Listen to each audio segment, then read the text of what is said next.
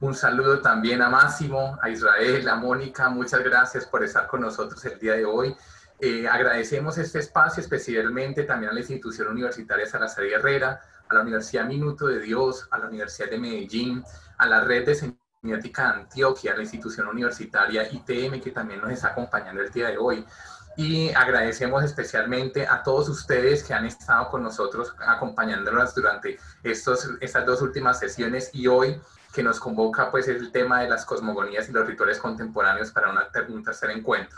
Entonces agradecemos ese espacio, la, Asociación Internacional de Semiótica les da esta bienvenida para que podamos abrir eh, una conversación, eh, como dice la profesora Mónica, un polílogo que nos permita eh, reconocernos en el espacio, en la palabra, en la acción y específicamente en todos estas, mm, estos encuentros que cada vez más amplían el campo de la semiótica en términos de estudio. Entonces sean ustedes bienvenidos. Profesora Mónica, ese es su espacio y bueno, quedamos eh, atentos a escucharles.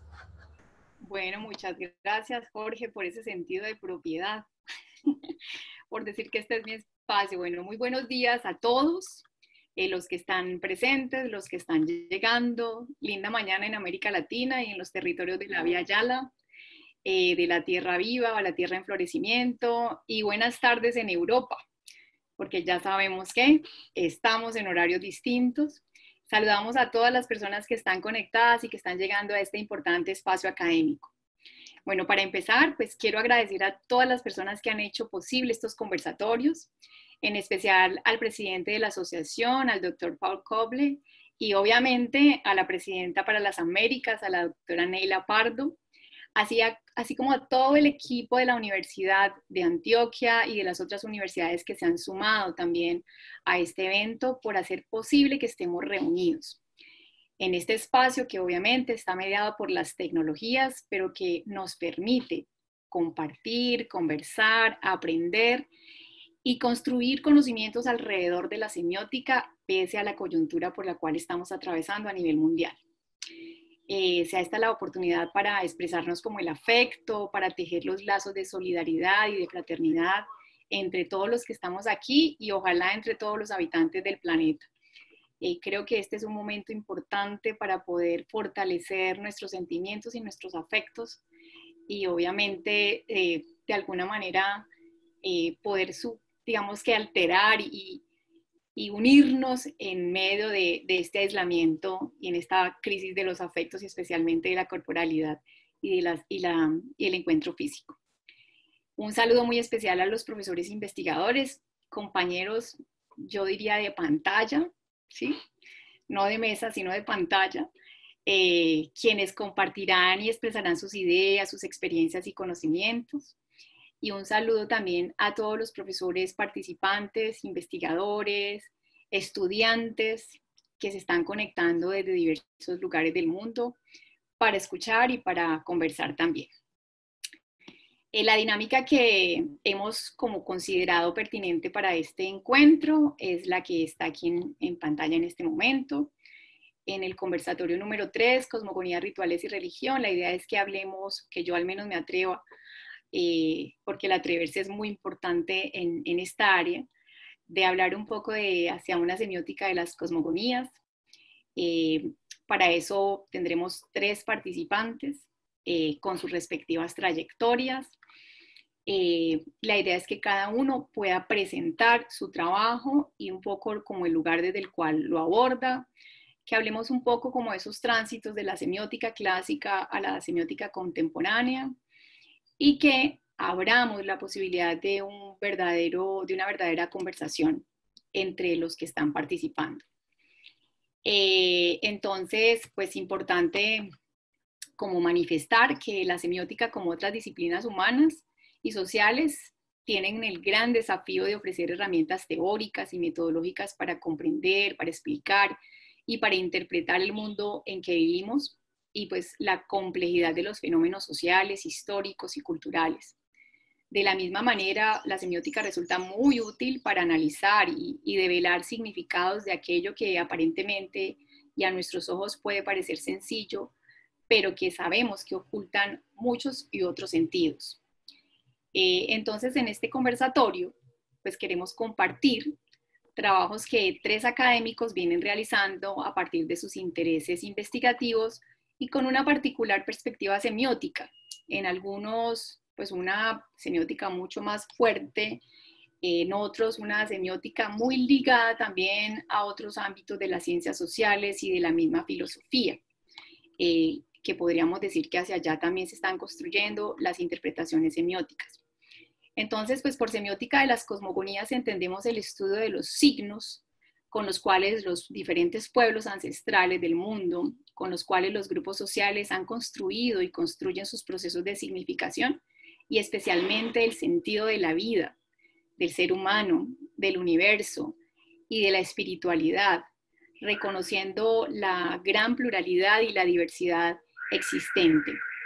Por eso en este espacio queremos proponer una conversación inicialmente con tres voces, en la que cada uno narrará la forma como realiza su trabajo de investigación, cómo aborda los procesos de significación y de sentido, para más adelante abrir la conversación con los demás participantes e invitarlos a que se unan a esto que puede derivar en un polílogo, como ahora también lo anunciaba Jorge Urueña. Entonces contamos con dos eh, académicos previamente anunciados, con el profesor Israel León Faril, contamos con Máximo Leone, tenemos un invitado muy especial, un invitado de la casa que nos invita, porque es un profesor de la Universidad de Antioquia, quien aceptó compartir con ustedes y con nosotros este espacio. Y se trata de eh, el profesor Abadio Green. Entonces, en medio de todo esto, pues me permito también hacer mi presentación como moderadora de este espacio. Eh, yo soy Mónica Marión Cataño Tálora, caleña, de ascendencia o descendencia paisa. La mitad de mi corazón y de mi cuerpo y de mi herencia genética está por allá, por los lados de Medellín. Soy docente e investigadora del Departamento de Comunicación y Lenguaje de la Pontificia Universidad Javeriana de Cali. Estudié comunicación social hice una especialización en marketing estratégico, una maestría en desarrollo humano y educación y también estudié un doctorado en Ciencias Sociales, Niñez y Juventud. Realizo trabajos de investigación y de acompañamiento social con jóvenes artistas urbanos de sectores vulnerables en mi ciudad. Y desde hace seis años estoy aprendiendo y caminando junto a un grupo de mujeres indígenas de un pueblo ancestral de Colombia, del pueblo Nasa, que es uno de los cientos pueblos indígenas que hay en Colombia. Y con el pueblo Nasa He venido aprendiendo otras formas de ver, de comprender el mundo y con ellos estamos realizando interpretaciones desde el diálogo de saberes. Desde allí mi interés un poco por la cosmovisión y por las cosmaudiciones ancestrales, que por supuesto tienen cabida en esto que estamos llamando semiótica de las cosmogonías. Eh, pues soy la encargada de orientar y de moderar esta conversación, por lo que cada uno de los participantes tendrá 10 minutos más o menos, entre 10 o 15, para dedicar un poco más tiempo, como les decía ahora, a las intervenciones que, que tengan los asistentes a, a este espacio. Así que entonces empecemos. Me permito ahora eh, presentar a Israel, Israel León eh, Ofaril. Durante estos días que he estado conversando, compartiendo y preparando este conversatorio, puedo decir que es un ser humano muy sensible, responsable. Acaba de pasar por una situación familiar muy triste y aquí está con nosotros. Eh, un hombre riguroso en su trabajo, inquieto por aproximarse a los objetos de estudio desde diversas miradas, tal y como lo sugería Wallerstein en Abrir las Ciencias Sociales. Eh, Israel es licenciado en Ciencias de la Comunicación por la Universidad Intercontinental, maestro en Historia de México por la Universidad Autónoma del Estado de Hidalgo, es doctor en Estudios Mesoamericanos por la UNAM, profesor investigador de tiempo completo en la Benemérita Universidad Autónoma de Puebla, en la Facultad de Filosofía y Letras, eh, en el Colegio de Historia y en el posgrado de Literatura Hispanoamericana fue director de la Facultad de Comunicación de la misma universidad en el periodo 2003-2017 y también es columnista en la Jornada de Oriente, un periódico de Puebla. Eh, Israel tiene un interés investigativo en el ámbito simbólico eh, como motor de la vida humana. Estudia las comunidades indígenas en México, básicamente las comunidades mayas, ha publicado diversos artículos académicos en diferentes revistas de América Latina y España.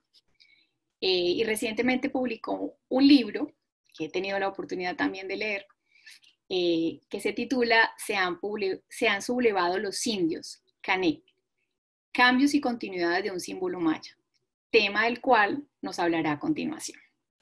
Entonces, Israel, bienvenido. Eh, este es ahora tu escenario. Gracias por estar aquí. Muchas gracias a ti, Mónica, y gracias a Neila, Jorge. Eh, ambos siempre han estado atentos a todo lo que se puede hacer a partir de la semiótica y, es una pena que este encuentro no se haya podido dar como se había eh, planteado obviamente gracias a Paul, a Paul Cobley y a las eh, asociaciones, tanto la internacional como el, capítulo de América Latina, por la organización de, este evento. ¿no? Eh, sin mayor preámbulo, quiero platicarles algunas ideas, nada más, no quiero aburrirlos. Aquí de lo que se trata es de que haya un intercambio rico, pero sí me parece que es importante que presente, pues, más o menos cuál es la dinámica que he estado trabajando y por qué estaríamos incluidos eh, varios de nosotros en una mesa como esta, donde además estamos de alguna forma eh, pues desarrollando un concepto relativamente nuevo, vamos a llamarlo así, pero cuando lleguemos a una definición que les voy a compartir de cosmovisión, entonces veremos que la, situación no es nada nueva y que requiere indudablemente de la atención de cada vez más personas eh, desde la semiótica, ¿no? Entonces, bueno, les comparto ahí, aparece el título de mi tesis doctoral, eh, donde analicé el continuum cultural basado en, la teoría losmaniana. También estuve trabajando algo con, este Bakhtin, eh, sobre la resistencia maya colonial, pero sustentándola en eh, algo que yo caractericé como símbolo, a su vez texto, esto partiendo del análisis losmaniano, que sería Canek, su presencia desde el Petén guatemalteco, previo más o menos a, a la conquista de la región que se va a dar a 1697 y más adelante hay una continuidad hacia Yucatán con una rebelión indígena que se va a dar en el siglo XVIII, eh, 1761, encabezada por Jacinto Canek, una persona que asume el nombre, no se llamaba Canek, se llamaba Jacinto Uc, y entonces él eh, de alguna manera se eh, arropa con el nombre de, de Canek, que para el momento, y eso es parte de lo que sostengo en mi investigación, eh, el, nombre Canek ya no significaba uno de los gobernantes o las élites que gobernaban la zona del Petenitza, sino más bien significaba ya resistencia indígena. Es decir, esa región donde, donde él se empapa de esta situación, de este nombre, es eh, en la región eh, del Petén, que está entre, entre está este norte de Guatemala y Yucatán y que era una zona libre del dominio colonial.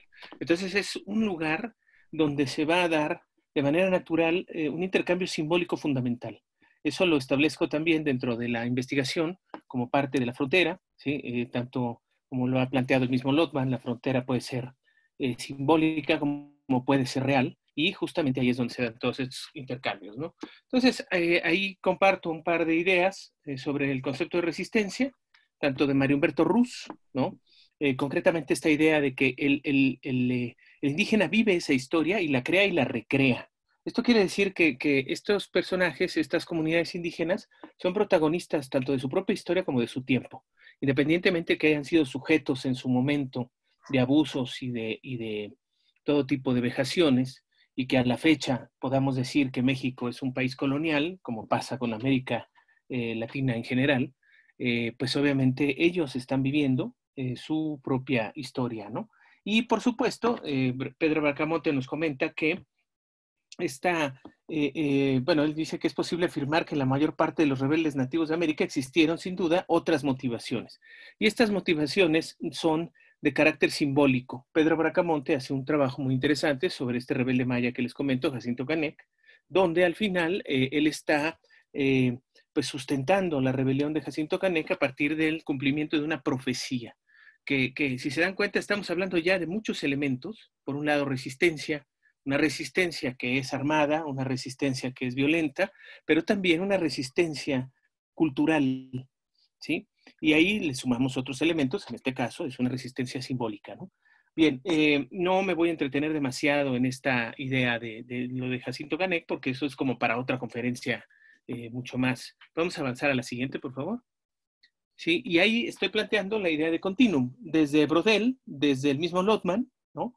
Eh, en este texto de, explosión y, gradualidad y cambio gradual, donde pues está hablando de que la continuidad es una previsibilidad implícita, ¿no? Es decir, eh, esta frase de cambiamos para continuar quiere decir que quizá ese sea el continuum, claramente, ¿no? La cultura se va adaptando constantemente a aquello que le, que le requiere el presente y a veces adoptando cosas del pasado, a veces sumándose a movimientos del presente, como sea, pero va eh, con la intención de, prevalecer, ¿no?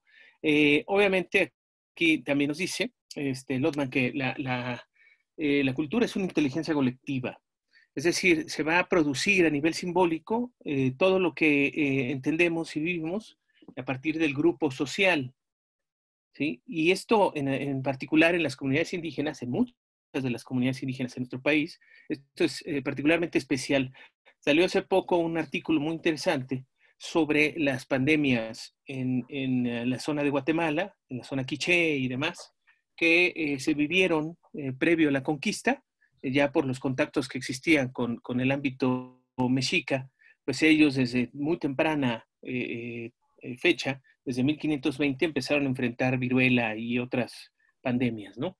y esto vino pues, a trastocar la, la lógica colonial. Sin embargo, ellos se enfrentaron de manera colectiva estas enfermedades, ¿no? Y es algo que aparentemente está sucediendo también el día de hoy, o estaría pasando en las comunidades indígenas guatemaltecas con esta pandemia del COVID, ¿no? Es decir, no se está enfermando, que es lo que pasa con nosotros eh, eh, recientemente, los altos índices que estamos teniendo en México es porque la gente lo que le interesa es a ellos mismos, no les importa eh, el ámbito comunitario, ¿no?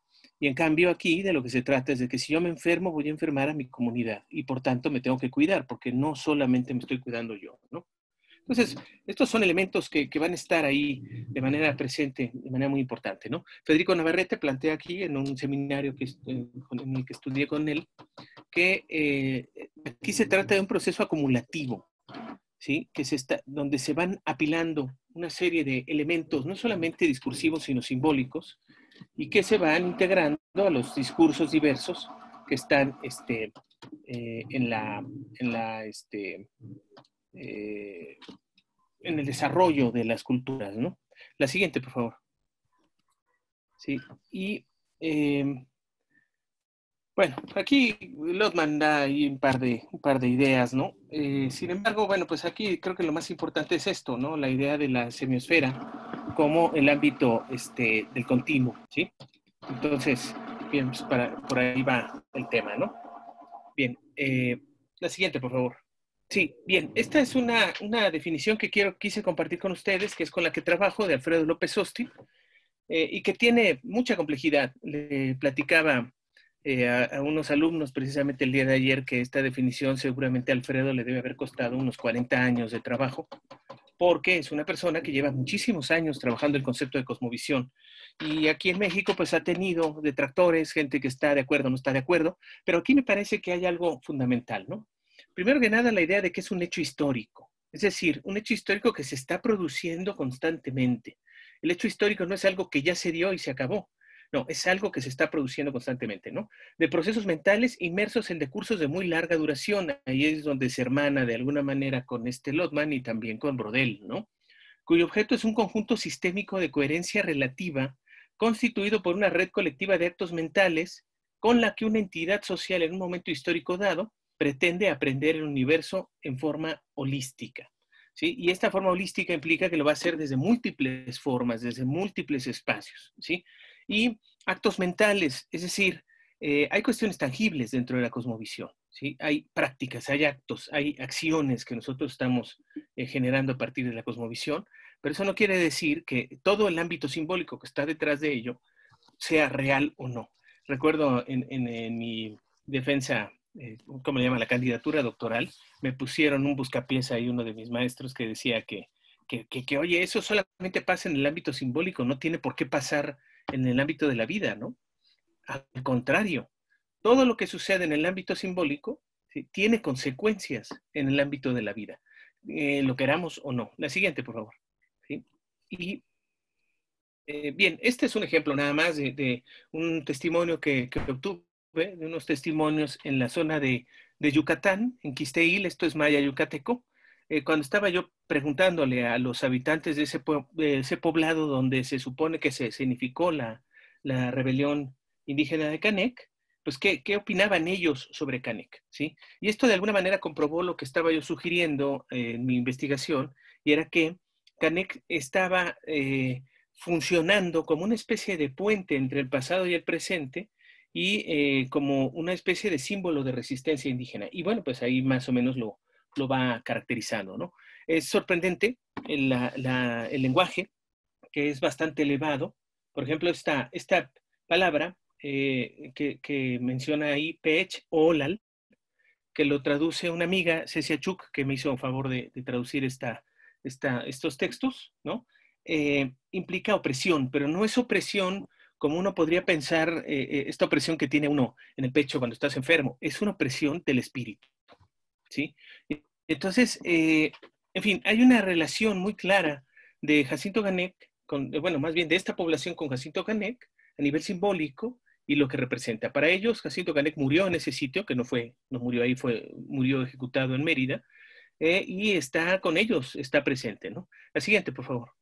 Y bueno, pues quiero compartirles eh, aquí algunas imágenes. Cuando estaba haciendo mi investigación allá en, Campeche, que también es una zona maya yucateca, eh, les, les, comento rápidamente estas dos imágenes que ustedes están viendo, la de la izquierda que dice pinches gachupines, viva Zapata, y luego la de viva Jacinto Ganek, son eh, creadas por, eh, bueno, fueron manifestaciones generadas por un grupo que se llama Fresies y este señor que se llama Antonio Checu, que es precisamente este señor que está hablando en la, foto de la izquierda.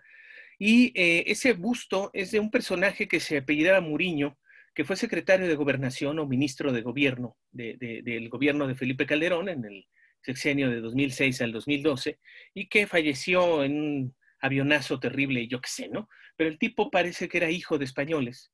Y eh, justo en Campeche, en el barrio de San Román, que es donde habría nacido Jacinto Canec, pusieron este busto a este señor y es porque este hombre se casa con una eh, de las, eh, una mujer que proviene de una de las familias empresariales más importantes del estado, ¿no? Entonces el, el gobernador coloca esto. Y para ellos, para los indígenas mayas de la región, esto fue una ofensa terrible. Entonces, en este, en 2011, pintaron el, nada más la base del busto, pero ya en 2012 tiraron el busto y pusieron una cabeza de cerdo con todo el, ámbito simbólico que representa. Les platico rápidamente. Eh, todos los eh, seres humanos para la cosmovisión maya tienen una especie de animal compañero que es el guay, ¿sí? Y el guay de los, eh, de los españoles eran los cerdos, porque los cerdos no existían en este lugar. ¿sí? Entonces, por eso es que colocan la cabeza de cerdo y se, están eh, burlando precisamente de, este Muriño. ¿no? Esto fue una manifestación real, le genera mucho problema a, los gobiernos de Campeche esta, esta, población y a la fecha no le han puesto la, estatua a Jacinto Canec. Eh, si en lo simbólico no tuviera importancia, ¿Cuál es el problema de ponerle a ese rebelde maya una estatua? Ah, no, porque si le pones la estatua, entonces esa casta divina, como lo menciona aquí este Checu, estaría eh, cediendo el espacio para las comunidades indígenas. La que sigue, por favor. Bien, esto fue durante una eh, práctica que hicimos en Campeche también, eh, donde este señor es un shmen, sería una especie como de especialista ritual, que hace muchos rituales, ¿no? Hace varias cosas, entre ellas eh, este, pide permiso a lo que él denomina los Balam Winik, que sería algo así como los hombres brujo espirituales de la selva, para cuando uno va a cazar, pues no, no, no te pierdas en la selva, ¿no? Entonces, eh, si se dan cuenta, aquí lo que me interesa que vean es precisamente esta, eh, el altar donde él hace todos sus trabajos, y si se dan cuenta, ahí tenemos una multiplicidad de santos y de figurillas prehispánicas, ¿no? Entre ellos ahí identificamos un santo niño doctor que es de por acá de la zona de Puebla, de Tepeaca, así se llama el pueblo, que no tiene nada que ver con esas figuritas prehispánicas, pero para él esto le funciona y si le funciona, pues ahí va a estar. ¿Sí? Y entonces aquí viene una contradicción que yo he discutido con varios especialistas porque plantean que si un, eh, un conocimiento indígena no es puro, o en este caso, por ejemplo, te lleva aspectos católicos, entonces no es indígena. Perdón, pero aquí, y esto es lo más importante, a nivel simbólico, una de las características clarísimas, al menos de los indígenas en la región de Mesoamérica, es la capacidad que tienen de acumular saberes. ¿sí? Y no les pasa absolutamente nada si dentro de los rituales tienen rezos católicos y a su vez las ceremonias que ellos consideren. La siguiente, por favor. Aquí tenemos otra, otra imagen donde eh, mismo en Campeche, en una que se llama Nunquini, se está haciendo una ceremonia que se le llaman los pibipollos que es la elaboración de unos tamales que estaba viendo en un video que, me compartió Mónica, que también hacen algo muy similar eh, eh, allá en, los NASA, ¿no? Aquí en este caso se cuecen los tamales bajo tierra, ¿sí? Tiene un ámbito, esto es para, para cerrar la fiesta de muertos en esta región, ¿sí? Que es todo el mes de noviembre, y para el final del mes se tiene que dar de comer a los muertos estos tamales que se hacen debajo de la tierra, ¿no? Eh, y eh, si no les das de comer a los muertos, no se van. Entonces es importantísimo que lo hagan. Y vemos la siguiente, por favor.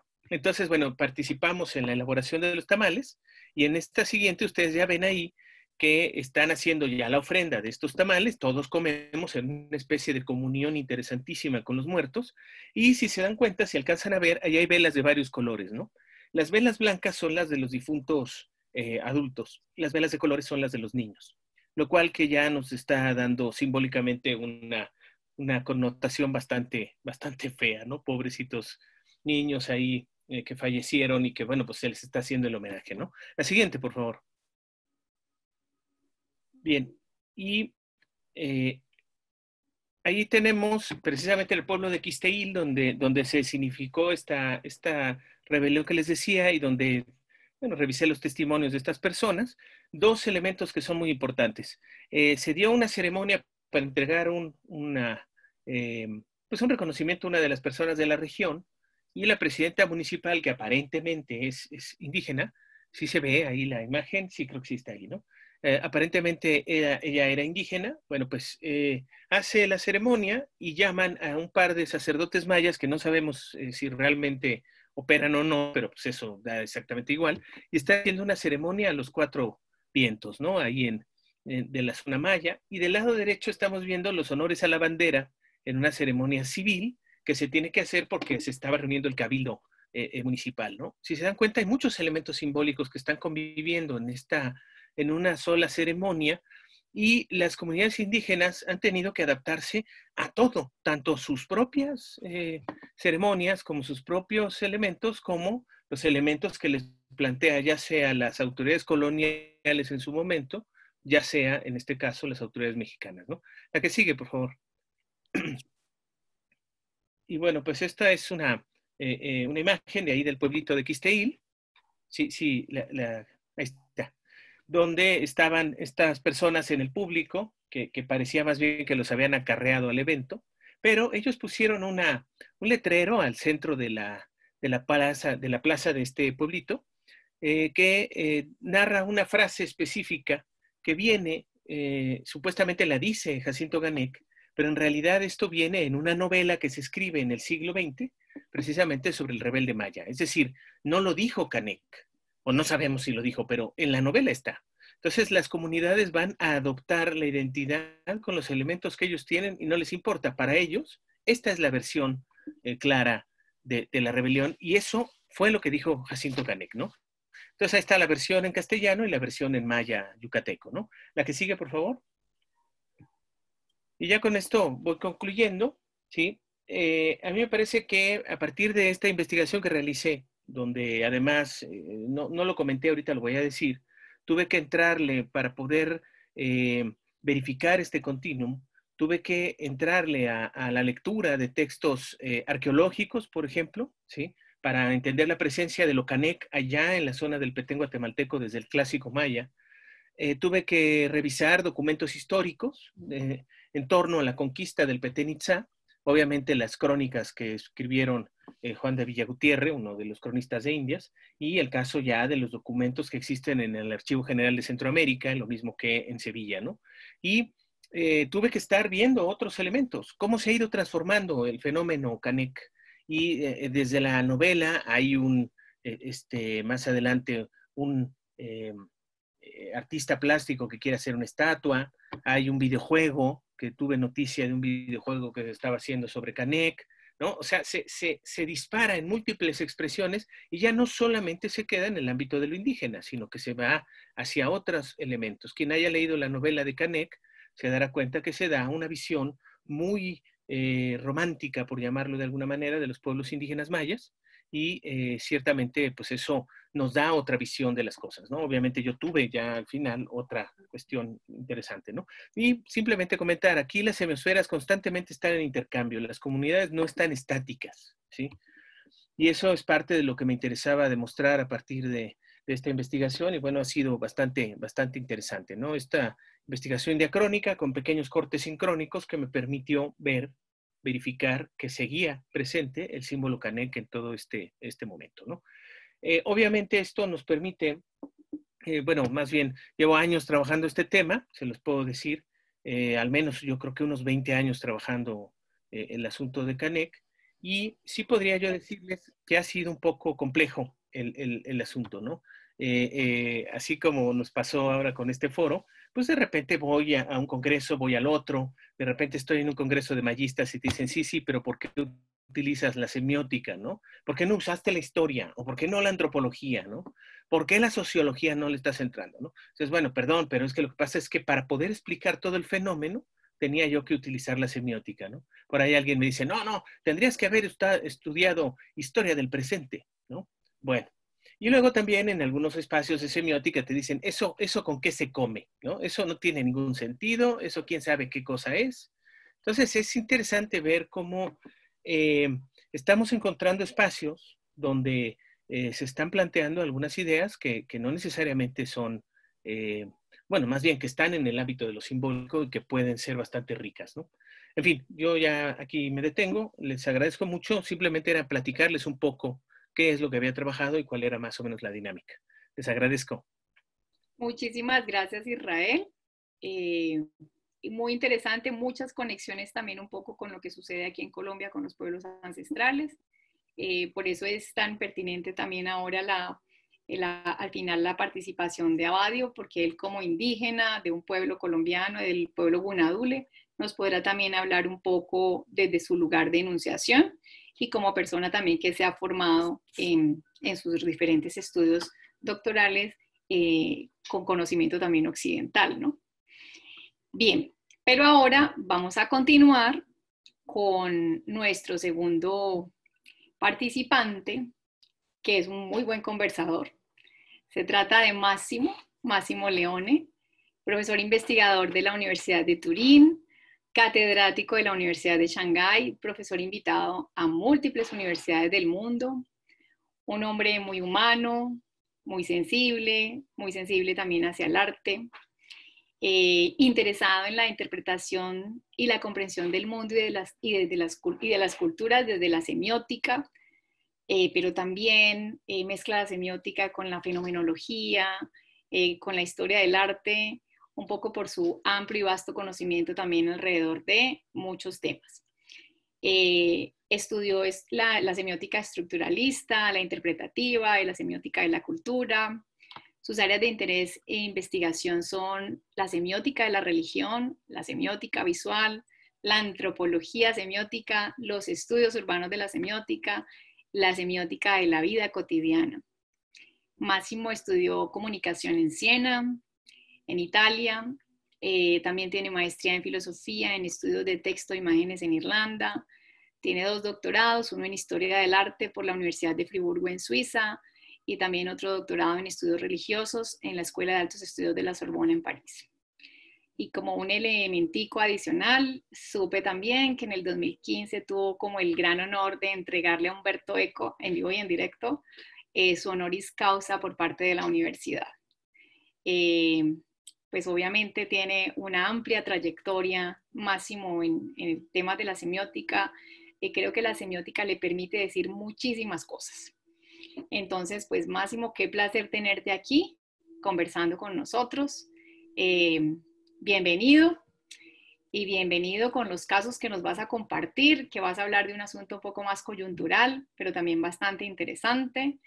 Eh, interesante también que, que, a propósito de, y para darle conexión con lo que veníamos trabajando, nos compartas un poco ese trabajo también que en su momento hiciste sobre los rituales y las rutinas. Creo que es pertinente también para que los que están aquí participando y escuchándonos, eh, pues tengan un poco también como esa, esa, esa posibilidad de conocer ese trabajo que hiciste, que es un trabajo muy bonito, muy bello. Eh, y bueno, pues creo que también gran parte de la comunidad que está aquí, la comunidad eh, académica te conoce y bueno, hemos tenido y los que no, pues van a tener el, el gusto de escucharte. Bienvenido, Máximo. Buenos días. Bueno, muchísimas gracias, eh, Mónica, para esta, eh, por esta presentación extraordinaria que no merezco. Y muchísimas gracias también a, los organizadores, a las organizadoras de, de este encuentro. Y, Agradezco eh, de manera muy eh, particular al presidente de la Asociación Internacional de Estudios Semióticos, Paul Cobley, a la presidenta de la FES, eh, Neila Pardo, y a Jorge Urueña también, que ha trabajado mucho para la organización de estos encuentros. Es un verdadero placer. Entonces, acaba de hablar Israel León, eh, ahora va a hablar Máximo Leone. Estamos en un lugar peligroso, ¿no? Eh, donde hay, varios leones. Eh, entonces, los antiguos tenían esta frase, ¿no? Ix sunt leones, ¿no? Aquí están los leones.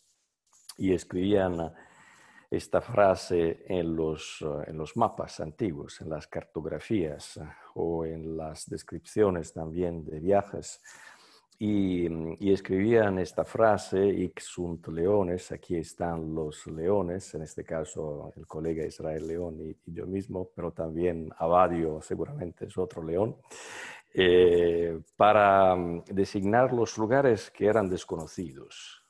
Y entonces se ponían ahí animales feroces, animales que se conocían pocos. Y nosotros también estamos en un lugar desconocido eh, estamos en un territorio que no conocemos todavía. Em, el título de este encuentro eh, contiene dos palabras eh, con un aura de misterio, ¿no? las cosmogonías y los rituales. pero hay que subrayar que las cosmogonías y los rituales no solamente son elementos de espacios eh, lejanos eh, y de tiempos lejanos. Eh, las cosmogonías y los rituales también están con nosotros, son fundamentales para entender nuestra vida contemporánea, nuestra vida cotidiana. Entonces hay un enlace, una relación muy importante entre el trabajo eh, de los que estudian eh, cosmogonías y rituales en la dimensión antropológica clásica y eh, los, que, los y las que estudian estos elementos en la semiótica en relación al mundo contemporáneo, en relación a los medios de comunicación contemporáneos.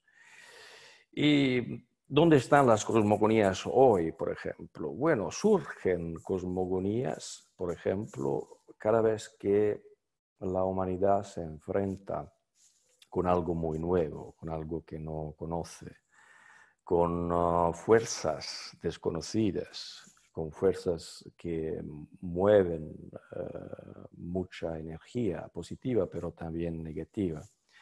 Y uh, voy a hacer una pequeña provocación. Se habla mucho de teorías de la conspiración hoy en día. Eh, yo mismo he tenido un proyecto europeo de varios años sobre teorías de la conspiración. Me parece que hay una relación muy interesante entre teorías de la conspiración y cosmogonías. Eh, la semiótica tendría exactamente que explorar estas conexiones, o sea, los cuentos, los textos narrativos, los discursos que se producen cuando los seres humanos eh, intentan explicar fuerzas eh, que están en lugares misteriosos. Y eh, también hay una relación muy estrecha entre los rituales que estudia la antropología clásica y los rituales contemporáneos. Yo escribí un artículo hace muchos años para comparar el concepto de ritual con el concepto de rutina, o sea, cuál es la diferencia entre ritual eh, y rutina. Y eh, me parecía que eh, cuando escribía este artículo, nosotros tenemos muchas rutinas como individuos, pero tenemos muy pocos rituales. Por ejemplo, ahora la mascarilla se ha puesto objeto fundamental eh, en muchas de nuestras sociedades, pero no hay rituales de la mascarilla, hay rutinas individuales de la mascarilla. Es por eso lo que estaba diciendo Israel es muy importante. O sea, no conseguimos tener una comunidad semiótica con un sentido común alrededor de lo que está aconteciendo. Em, pero eh, tengo que decir que estos días eh, yo estoy trabajando sobre todo sobre un ritual que era tan cercano de mí, de mi persona, de mi vida, de mi existencia, que no conseguía verlo. Eh, es algo que acontece a muchos profesores, que son muy inteligentes, a veces con cosas que son muy lejanas, pero a veces no consiguen ver lo que está muy cerca de ellos y de ellas. Y estaba reflexionando sobre el ritual fundamental de mi vida, quizás el ritual más importante de mi existencia, el ritual que define mi existencia, o sea, el ritual de la enseñanza. La enseñanza también es un ritual. Eh, yo me he formado con una idea de este ritual y esta idea ahora está cambiando de manera dramática. Entonces me puse a reflexionar sobre eso y voy a compartir ahora una pequeña presentación para eh, que empecemos a discutir eh, todos juntos sobre este tópico. Espero que se vea. Eh, bueno, dado un título que está relacionado también a mi eh, interés principal eh, de este momento. He ganado un proyecto europeo de cinco años eh, sobre la investigación de la cara en el mundo digital y gané este proyecto antes del virus. Entonces quizás haya también unas teorías de la conspiración sobre Máximo Leone, porque ahora la cara digital se ha puesto absolutamente eh, fundamental, ¿no? Entonces eh, alguien eh, dirá que como Bill Gates soy yo que ha producido el virus para darle aliento intelectual a este proyecto. Pero bueno, cara a cara, el ritual de la enseñanza y la sala de clase como su templo. Voy a leer muy rápidamente porque es una propuesta teórica la que hago y, también una pequeña provocación me gustaría también discutir con los otros panelistas y con el público. Entonces, la pandemia de COVID-19 de 2020 ha alterado radicalmente muchas actividades humanas. Ha ejercido un impacto sin precedentes en las creencias, emociones y acciones de las personas. Ha cambiado grupos, comunidades e instituciones. Ha modificado formas de vida. El mundo digital no ha sido excluido por el cambio, al contrario, desde muchos puntos de vista ha sido su centro. Bueno, habrá unas pequeñas faltas en mi español escrito porque estoy escribiendo este ensayo en inglés, lo he traducido ahora en español, entonces será un poco de itañol inglés. Em, como era de esperar, la situación sin precedentes de tener una gran parte de la población mundial confinada en casa por ley ha tenido consecuencias también en la relación entre el mundo real y su contraparte digital, donde se disponía de instalaciones técnicas adecuadas, todas las actividades que implicaban interacción humana y que podían ser digitalizadas lo estuvieron, con la consiguiente re digitalización de prácticas humanas que ya estaban parcial o totalmente en la esfera digital. Entonces, eh, los diferentes casos eh, se pueden organizar en una matriz eh, combinatoria.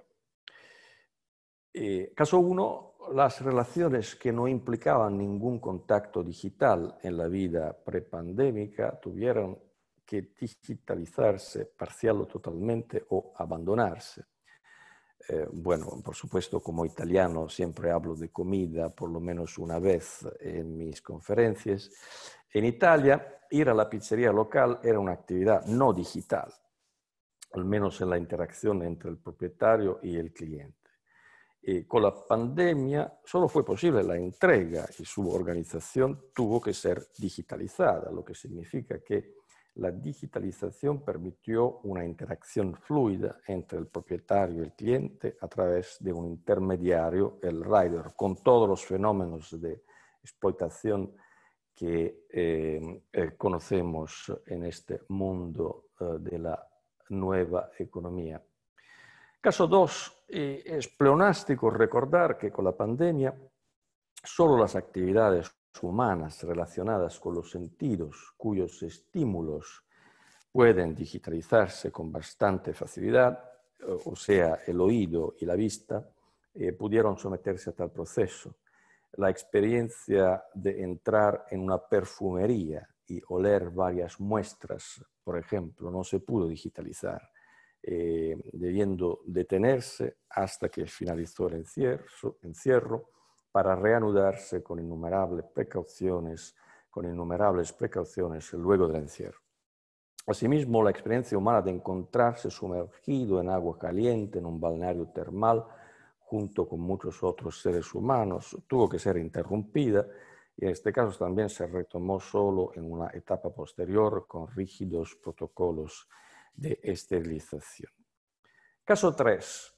Otras experiencias, principalmente relacionadas con la propiocepción y la sensación a veces embriagadora de encontrarse apretado, apretujado en medio de la multitud, se detuvieron por completo y nunca pudieron reanudarse. ¿no? Lo que sufre más durante esta pandemia no es el individuo, es la muchedumbre convertirse en parte de una ola humana gigante en un estadio durante un partido de fútbol, recibir el cuerpo de un cantante rock saltando sobre el público desde el, desde el escenario durante un concierto, frotar el cuerpo de uno contra los de decenas de extraños en un club lleno.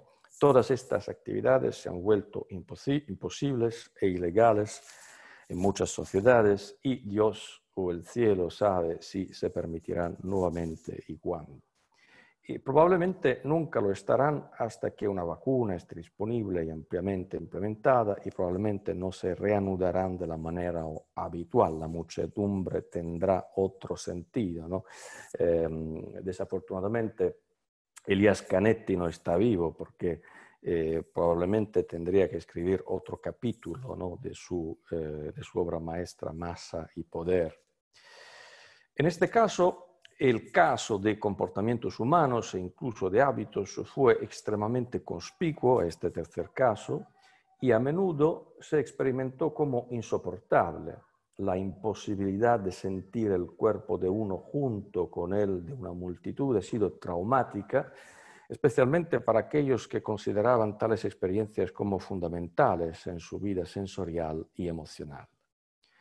Pero vamos a hablar de la enseñanza, porque es claro que eh, los músicos, eh, los cantantes de rock están sufriendo mucho, pero lo que está pasando a los profesores, a los institutores, a los maestros, es mucho más surrepticio porque nos están diciendo, bueno, podéis seguir vuestro trabajo, más o menos, es la misma cosa, ¿no? podéis enseñar desde la pantalla. Porque de hecho sí, podemos seguir, pero tenemos también que reflexionar sobre lo que está cambiando. Y la semiótica es excepcional para hacer esto. Yo creo que es la disciplina fundamental. ¿Por qué? Porque desde el punto de vista de la palabra, del mensaje verbal, muy poco está cambiando. Lo que está cambiando es la manera en la que la enseñanza utiliza otros sistemas de signos, principalmente no verbales. Y creo que es el más importante es el sistema del espacio y el tiempo. Son principalmente estos dos elementos semióticos que cambian. Entonces, en otros casos, sin embargo, el cambio fue más sutil, pero también más subrepticio las personas tenían la impresión de que podían continuar como lo harían antes de la pandemia, porque ya existía una infraestructura y un protocolo de digitalización, pero pronto tuvieron que darse cuenta de que la versión digital de lo que antes era una actividad total o parcialmente incorporada no era exactamente la misma. Eh, este, por ejemplo, es mi grupo de trabajo en la Universidad de Turín, los investigadores que hacen parte de mi grupo de investigación, hace meses que nos encontramos cara a cara. Con algunos de ellos no somos mm, encontrados cara a cara nunca. Es algo bastante excepcional. Entonces, la enseñanza fue sin duda un ejemplo destacado en esta categoría. Antes de la pandemia ya existían formas de enseñanza en línea o mixta.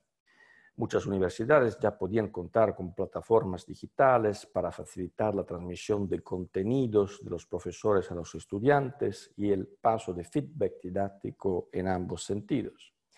Incluso había algunas universidades mm, que en Italia, mm, para decir la verdad, no tienen una muy buena reputación, eh, cuya enseñanza se basaba en la entrega de contenidos en línea exclusivamente, aunque todavía mantendrían alguna forma de interacción cara a cara.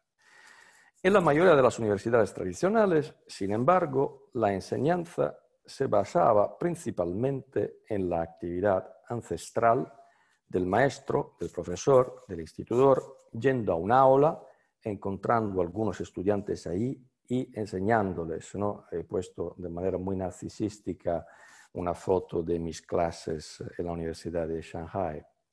Por lo tanto, eh, incluso en aquellas universidades que ya podía contar con plataformas, redes, software y protocolos para la enseñanza en línea, la interrupción repentina y forzada de cualquier forma de interacción cara a cara fue una especie de shock. Eh, yo sé que está ahí con nosotros mi amigo y colega José Enrique Finol, que fue nuestro profesor invitado en la Universidad de Turín este año, y desafortunadamente él hablaba de la corposfera, pero su cuerpo no estaba ahí sino por medio de un avatar digital, algo extraordinario. ¿no? Eh, no solo la docencia, sino también la recepción de estudiantes, las actividades de laboratorio, los seminarios, los exámenes, las graduaciones, las discusiones de tesis doctorales, hasta los concursos para la contratación de nuevos profesores tuvieron que cambiar repentinamente a un formato en línea. Inevitablemente, el cambio fue acompañado por la intolerancia, la resistencia e incluso la hostilidad por parte de muchos. Hay un filósofo italiano muy conocido que es eh, Giorgio Agamben, que llegó hasta escribir que los que aceptaban en Italia dar, clase, de dar clases eh, por el medio de plataformas digitales em, eran como los profesores que eh, habían aceptado eh, eh, atestar su adhesión formal al fascismo durante los años 30, algo bastante duro. yo creo que lo que la semiótica tiene que hacer es reflexionar de manera un poco más calma sobre estos fenómenos. O sea, podemos tener muchas opiniones en contra, en favor, pero como semióticos tenemos que averiguar lo que pasa de verdad a nuestro lenguaje, al lenguaje de la didáctica, de la educación, cuando se vuelve digital. Y luego podemos añadir nuestras pasiones ideológicas. Y aquí he puesto con otra forma de narcisismo eh, mi transformación digital para la Universidad de Shanghai, que tiene una plataforma que funciona muy bien. La mayoría de las reacciones al cambio fueron, sin embargo, emocionales, dada la situación de grave estrés en la que se produjo. Los profesores, estudiantes y padres aprobaron o objetaron, respaldaron o resistieron, toleraron o se pusieron de acuerdo con su estado de ánimo personal y sin una consideración profunda de lo que realmente estaba cambiando con el cambio. El hecho de que la enseñanza, al menos aparentemente, se basa principalmente en los sentidos de la vista y el oído, que se pueden fácilmente digitalizar, dio lugar a que se pasaran por alto otros aspectos semióticos de la experiencia didáctica que el cambio modificó de manera menos llamativa. Entonces voy a concluir ahora con una pequeña provocación eh, para utilizar también este marco extraordinario de reflexión sobre rituales y cosmogonías. Eh, si eh, se hubiera abrazado eh, una ideología de la enseñanza como la mera transferencia de nociones del maestro alumno, la versión en línea de la misma podría incluso vivirse como satisfactoria. No es de extrañar que dentro de esta ideología las quejas se concentrarían mayoritariamente en temas de transmisión, como la solidez de la red, la confiabilidad de las plataformas o la posibilidad de controlar a los estudiantes durante los exámenes. Y estos no son los eh, problemas principales.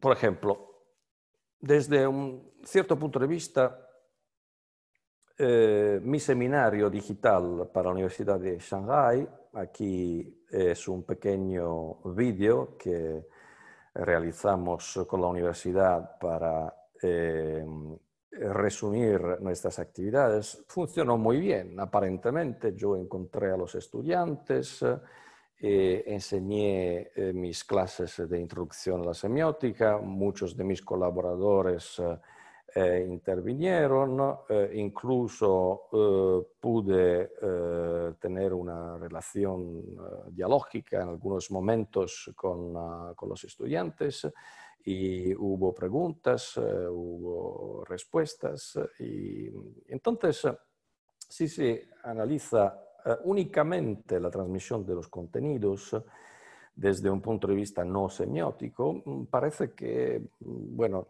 nada ha cambiado.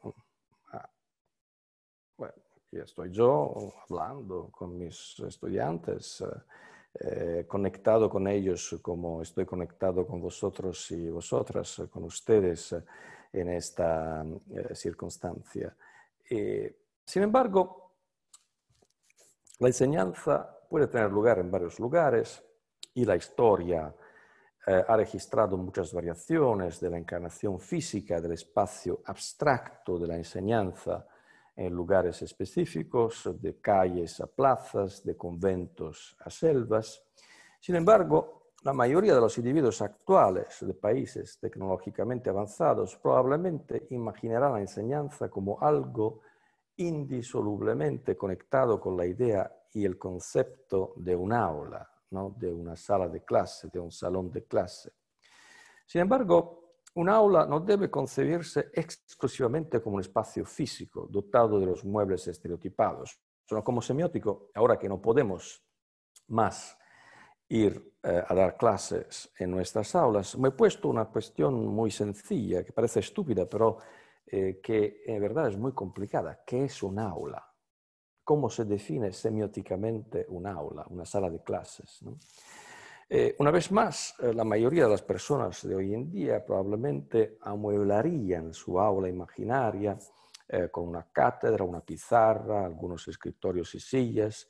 Imaginarían el aula como una habitación cuadrada bien iluminada, con pocos elementos funcionales colgando de las paredes, o imaginarían un amplio anfiteatro de madera, pero realmente no importa, no importa porque desde un punto de vista semiótico, la semiótica espacial de una escena de enseñanza no está constituida por la forma o el tamaño del aula, por la calidad y cantidad de los muebles que contiene, por la tecnología de enseñanza disponible, desde pizarrones antiguos hasta proyectores más modernos.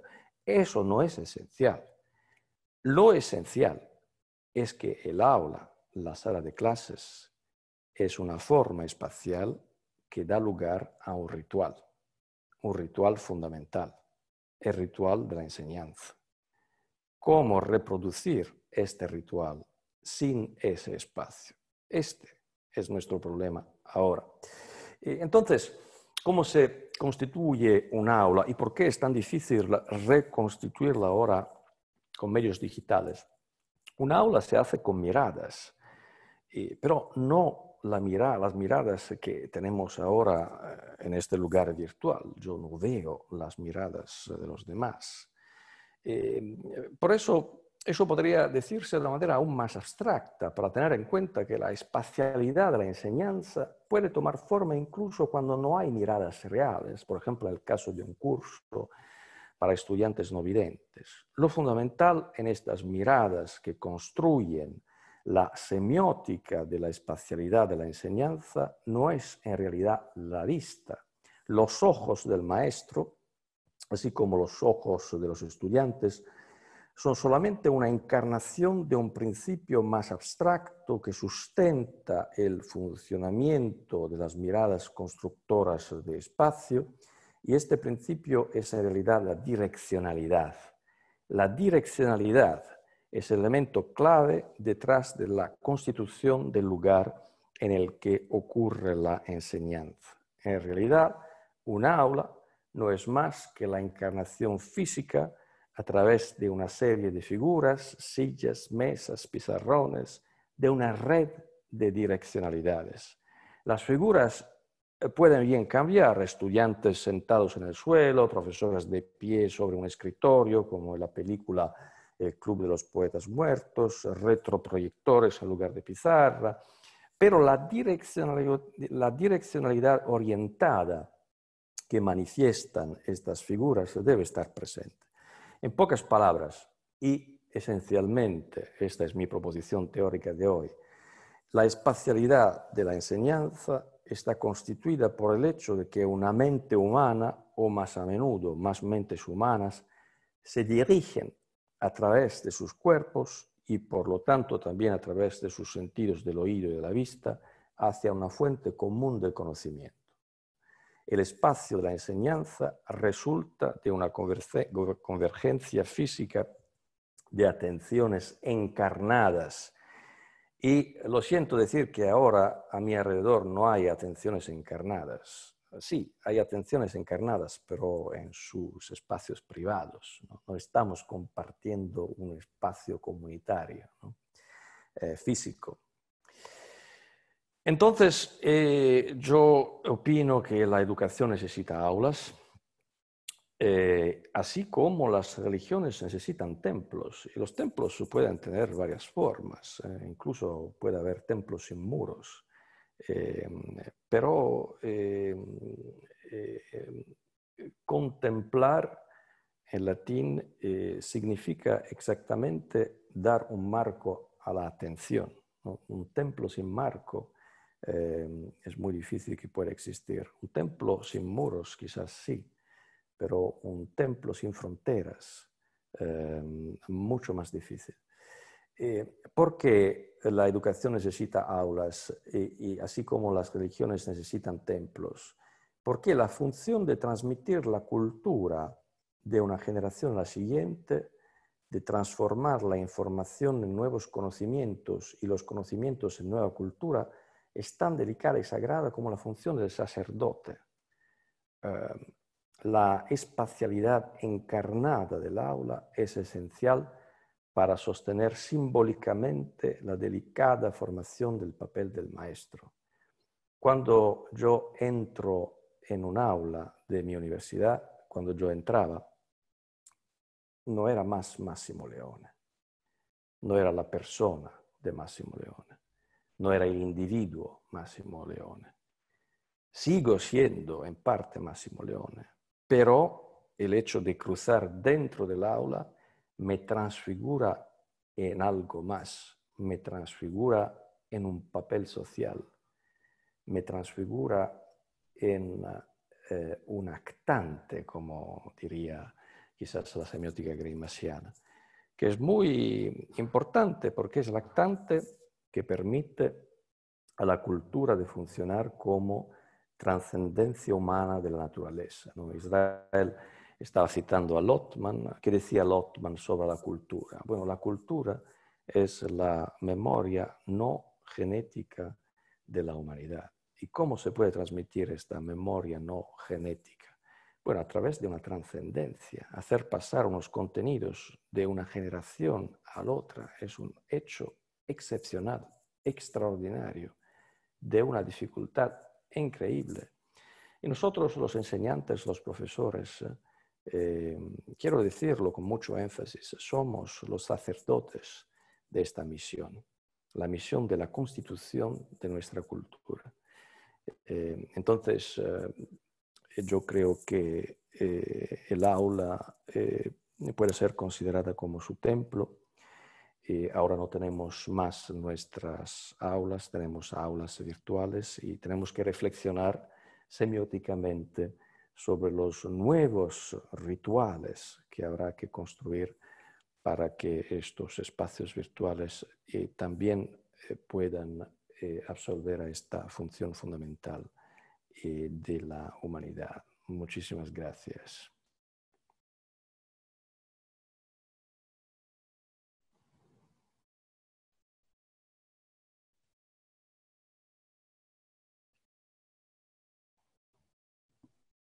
Muchas gracias, Máximo, por tu intervención, por la provocación que dejas para todos los que estamos aquí, que somos profesores y que nos estamos enfrentando día a día a, estas nuevas formas de, enseñanza.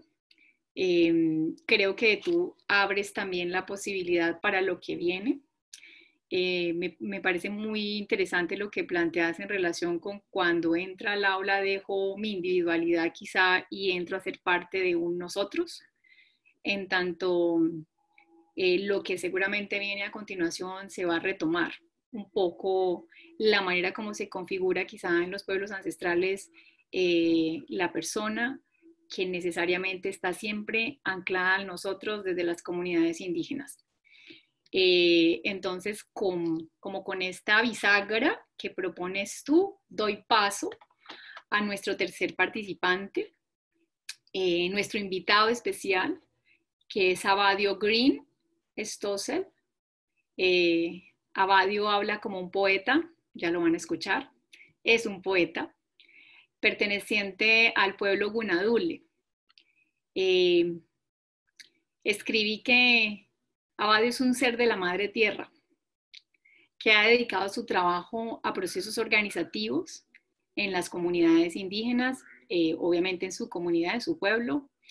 Eh, también se ha dedicado al trabajo educativo, investigativo, de la realidad de los pueblos ancestrales de Colombia. Es un hombre que teje la relación entre pedagogía, por eso digo que ahí dejaste justamente enunciado máximo para entrar justamente a lo que seguramente nos va a plantear Abadio.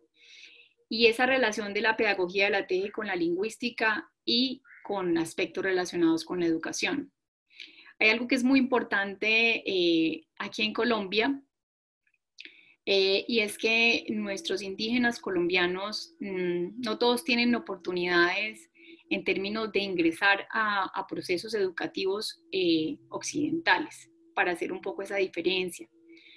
Eh, Abadio es doctor en educación, es decir, tiene su proceso de formación, eh, es doctor y como académico coordina el programa de educación indígena y es profesor en la licenciatura de Pedagogía de la Madre Tierra. Eh, y el trabajo como académico también lo combina Abadio porque ha sido presidente de la UNIC, que es la Organización Nacional Indígena de Colombia, y también de la organización OIA, que es la Organización Indígena de Antioquia. Eh, un aspecto muy importante también eh, de, de Abadio es que pues, ha sido conferencista y profesor invitado a nivel nacional e internacional y en el año 2009 fue reconocido como maestro de sabiduría por parte de la UNESCO. Eh, en el 2013 fue premiado también como uno de los mejores líderes de Colombia. Eh, Abadio se interesa por el estudio de los significados de la vida, por la lengua y por el estudio de la madre tierra. Entonces, ese es el perfil, la semblanza que he construido y que he elaborado de Abadio, como lo he hecho con, con ustedes, con los anteriores compañeros de, de pantalla y de mesa. Eh, bienvenido, Abadio. Bienvenido a tu casa porque estamos en el espacio de la Universidad de Antioquia, donde tú también estás y del cual haces parte y del cual también construyes conocimiento quizá de una manera distinta. Ahí Nueva Gambi, Pitigine, Amar Sunmaiso Khalid, Danuki Bamnukine, Emi Ansunmaiso Khalid Pitigine, Igi Angwabin, Pimbi Dagoet, Upsan,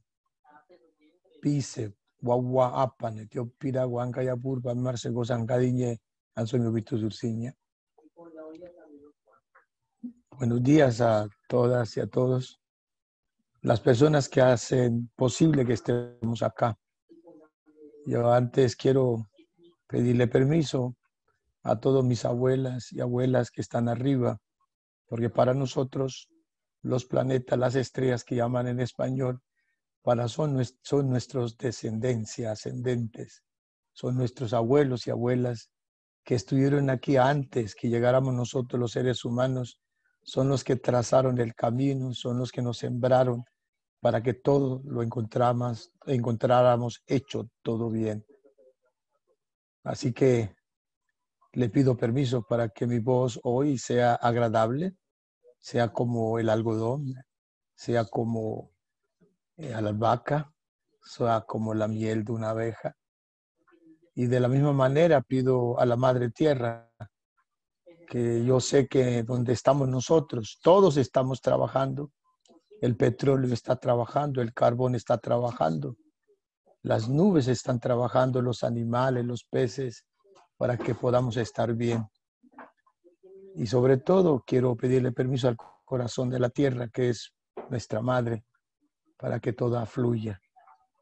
Y mi, en mi lengua nosotros decimos nuegambi, es como decir desearles a todos ustedes muy bien, pero la palabra nuegambi viene de la palabra eh, beber la leche materna.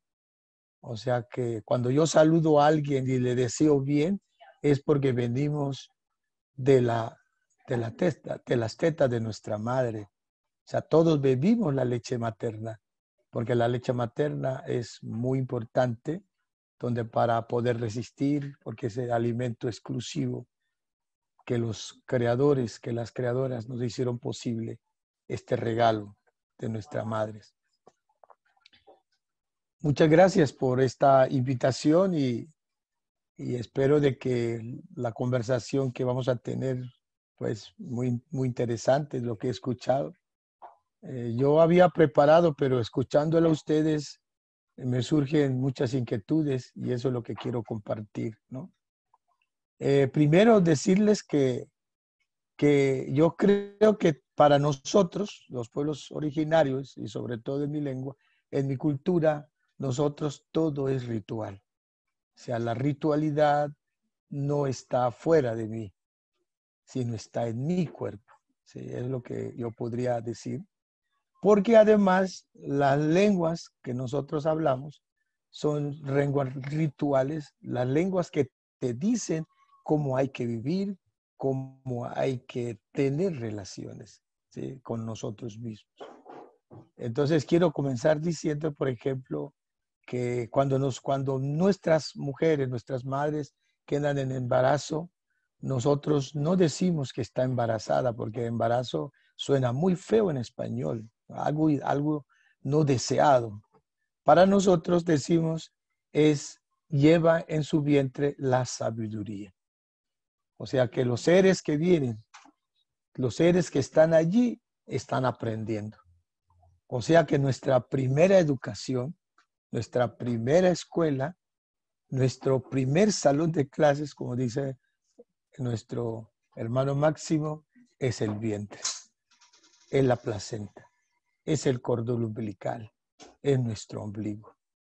Imagínense, nosotros decimos al cordón umbilical es el bejuco del asiento de la abuela.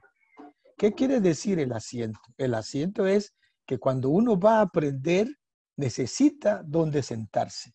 ¿sí? Es él. O sea, sentarse no significa un instrumento, significa es el espacio y el tiempo que vas a tener para escuchar al otro. Y en ese sentido, nuestro primer asiento es dentro del vientre de nuestra madre, que estamos ligados con el cordón umbilical que está mi madre. Y mi madre es la que me va a transmitir todo, todo lo que sucede alrededor de ella. Y entonces, nuestros primeros órganos que se desarrollan no es la vista, no es eh, el cerebro, sino el oído, sino el olfato y el estómago. Por eso es que muchas culturas en el planeta, su presentación como país es la comida, porque ese es el estómago, es el que desarrolla más con amplitud cuando estamos en el vientre de nuestras madres. Entonces, nosotros, nuestro, el, el vientre de nuestra madre es la representación de un gran árbol. Es así, nos decimos que en el vientre está un gran árbol, es la sabiduría. La raíz de ese árbol es la placenta y el tronco de esa raíz, de ese árbol, es, la, es cordón umbilical. Y lo que está allí como semilla somos nosotros. O sea que desde el vientre de la madre venimos con, una, con, un privilegio grande. ¿sí? Pero es ahí donde nosotros decimos, donde uno empieza a ver qué es qué en el futuro, cómo voy a hacer. O sea, mis enfermedades, minas, mis actitudes, todo estará explicado cómo me trataron dentro del vientre. Hoy el planeta está en una situación muy difícil de pobreza, de desnutrición. Imagínense niños y niñas que están haciendo eso. O sea, esto, lo que estamos, los símbolos, los signos que estamos hablando, es política. No se puede desligar de la política, no se puede desligar de la cultura, no se puede desligar de la economía. Todo está centrado cuando nosotros hablamos de estos símbolos que nos, que nos estamos haciendo. El símbolo del árbol, el símbolo de la prosperidad, el símbolo del alimento. Depende cómo está ese árbol, raquítico, sin raíz. Si yo me formé de ese, así que yo, cuando yo nazca, no, mi cerebro no funcionará mejor, mi corazón no estará latiendo mejor, mi, mi garganta, mi, mis, mis, palabras no nacerán mejor. Así que es. Entonces yo comencé a, mirar de que uno de los grandes problemas que tenemos la humanidad y nosotros los pueblos originarios ha sido la educación. Primero, porque la educación que nos llegó a nosotros ha sido impuesta. Nosotros no llamamos a los curas ni al gobierno nacional que nos trajeran la educación. Para nosotros la educación fue la muerte para nuestras culturas, porque no, nos trajeron otras cosas que nada tiene que ver con nosotros. Comenzaron a enseñarnos que existe un camello, nunca he visto un camello. Que nos comenzaron a hablar de la vaca y nunca he visto una vaca. Comenzaron a hablar de semáforo que no hay en las, en las comunidades semáforos. Tenemos ríos, quebradas, montañas, cosas bellísimas de la naturaleza, pero nunca me hablaron de eso. Así que esa educación que nos llegó a nosotros ha sido un fracaso total hasta el sol de hoy. A partir de ahí empezamos a decir, ¿sí? Entonces, ¿qué tipo de educación necesitamos? una, una, una discusión que tuvimos, una, una, una conversación que tuvimos entre los sabios, sabias, líderes. Nada que le pueda hacer. Perdón, un momento. Perdón, Amadio. Por favor, eh, coloquen sus, eh, sus, sus pantallas en silencio, por favor. Bueno. Aparece en la pantalla. ¿Ya? Ya. Puede seguir, Abadio. Gracias. Entonces comenzamos a hablar qué tipo de educación necesitamos. Entonces hicimos toda una elaboración y nos dimos cuenta que esa educación que tenemos eh, no podíamos esperar muchas cosas porque desde su génesis es patriarcal. O sea, cuando llegaron los españoles aquí, llegaron puro hombres. Y llegó la iglesia católica con ella y eran puro hombres también. O sea, desconoció, nunca los españoles hablaron de sus madres a nosotros. Nunca nos hablaron de que ellos tenían una madre española, una madre árabe. Y luego después vino la mujer negra. Y luego nosotros, los pueblos, o sea, nos desmadraron toda la educación en este América. O sea, no solamente estoy hablando para las culturas indígenas, sino toda la educación en toda América, en Avia Yala. O sea que esa educación se cimentó desde el machismo, desde el patriarcado, desde el individualismo, ¿sí? desde un tiempo lineal, desde el racismo, desde, desde la racionalidad. Entonces, eso no va a cambiar en un momento dado porque el sistema educativo está así. ¿Cómo lo podemos cambiar? Ah, hay que ir al origen. ¿Qué pensamos nosotros los pueblos originarios? Es ahí donde sale de que la tierra, de que la tierra, como madre, como mujer, debe ser la guiadora, la gran pedagoga. Así que ese hombre que está ahí en el centro, el sistema educativo colocó al sujeto hombre macho europeo, hay que sacarlo y hay que poner a la tierra como centro. Y si ponemos a la tierra como centro, no, debe ser puro amor. Es lo que nosotros queremos que la educación sea, que debe reconocer los valores ancestrales de nuestros pueblos y que el tiempo no es lineal, el tiempo es espiral porque todos venimos del espiral. Cuando el espermatozoide comenzó a danzar para llegar al óvulo, no lo hizo corriendo, lo hizo es danzando en espiral. Cuando se unieron esa unión de la semilla de mi madre y mi padre comenzaron a danzar en el espiral. Y ahí nació el agua, ahí nació la sangre, ahí nació el corazón, ahí nacieron todo lo que yo soy. O sea, en espiral. Yo soy espiral. Mi cordón umbilical es espiral. Mi ADN es espiral. Mi, mi coronilla es espiral. Mis huellas digitales es espiral. Si yo miro el pluriverso, yo veo toda la vía galaxia es espiral. La Tierra baila en espiral en el espacio. El Sol baila en espiral. Todo es en espiral. ¿En qué momento de la historia nos cambiaron todo con un tiempo lineal que hoy está padeciendo el planeta Tierra? Estamos muy mal. Entonces, es ahí donde comenzamos a decir que la Tierra debe ser el centro. ¿Y por qué la Tierra debe ser? Porque es la madre, que es la gran pedagoga. Cuando yo estuve en el vientre de mi madre, ahí comenzamos. Entonces ahí donde yo quiero también decirle un homenaje a las plantas. O sea, ¿quién nos contribuyó para poder yo encontrar toda esta, esa, ese, esas, esta, esta milenariedad del conocimiento? Nosotros nos llamamos cosmovisión, nosotros decimos cosmos sabiduría, porque ahí está el cosmos. Todos los abuelos y abuelas están ahí enseñándome todo el tiempo. La tierra es todo un conocimiento, toda una sabiduría. Cualquier cosa que yo veo en los colores de los árboles, me están hablando, ¿sí?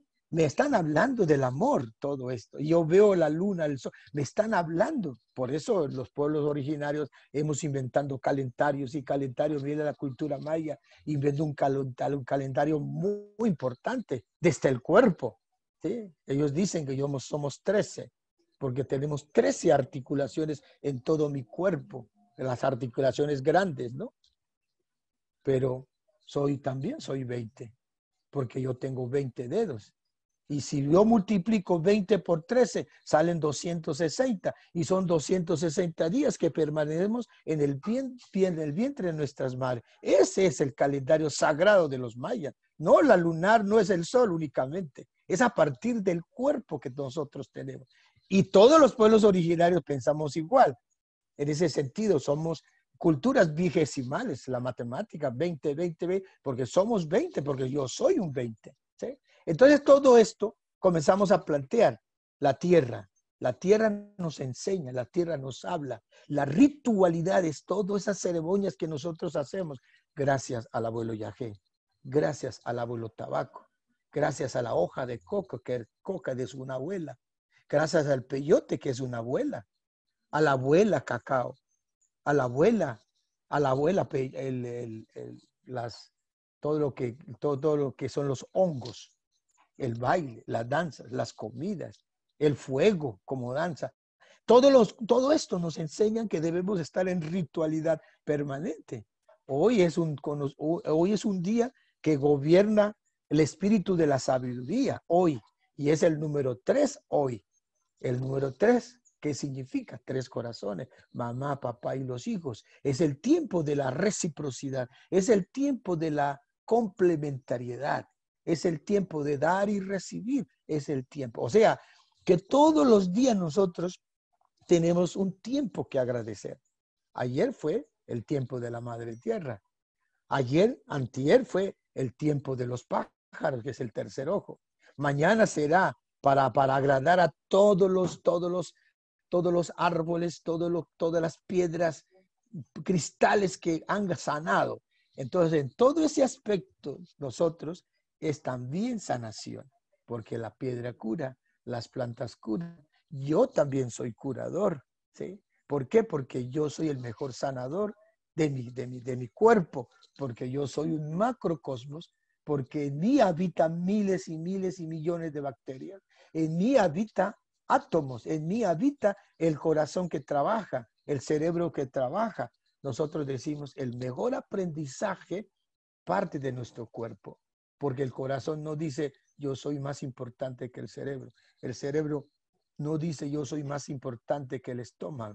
Para nosotros todo es importante, es la interrelación que hay. Somos una telaraña en la vida interna de nosotros. Así que a partir de ahí comenzamos a decir, la educación debe cambiar. La educación debe ser de este es el lugar que tiene la madre tierra. Y si ponemos en el lugar de la madre tierra, ya no será individualista, será comunitaria, será trabajos de mingas, será trabajo de sembrar juntos el maíz, sembrar juntos el cacao, sembrar juntos todo, juntos todo lo que nos ha entregado los creadores, las creadoras. Ya no será racista si ponemos a la madre tierra, porque la madre tierra ama igual a todos, ama al insecto más pequeño, ama al ser más grande porque habita en ellos. Entonces nuestra lengua, lo que quiero decir es, todo lo dice así, todo lo explica así. O sea, todo tiene, ahí está todos los signos, todas las simbologías, está en la lengua. O sea, por eso yo digo que, la lengua, eh, ahí está. Cuando alguien está hablando, cuando escucho a un abuelo hablar, yo veo abuelitas, abuelitos saliendo de la boca del, del abuelo porque está contando historias, historias, historias. Es la parte genética muy importante, es el tejido de la lengua que nosotros tenemos. O sea, entonces, en ese aspecto es donde yo me involucré, porque hoy los lingüistas me critican, porque digo, yo no hago lingüística. Claro, porque la lingüística que hoy se conoce dice que es ciencia. Yo no me meto en la ciencia, porque la ciencia te dice, verifique, demuéstreme. A mí no me interesa demostrar.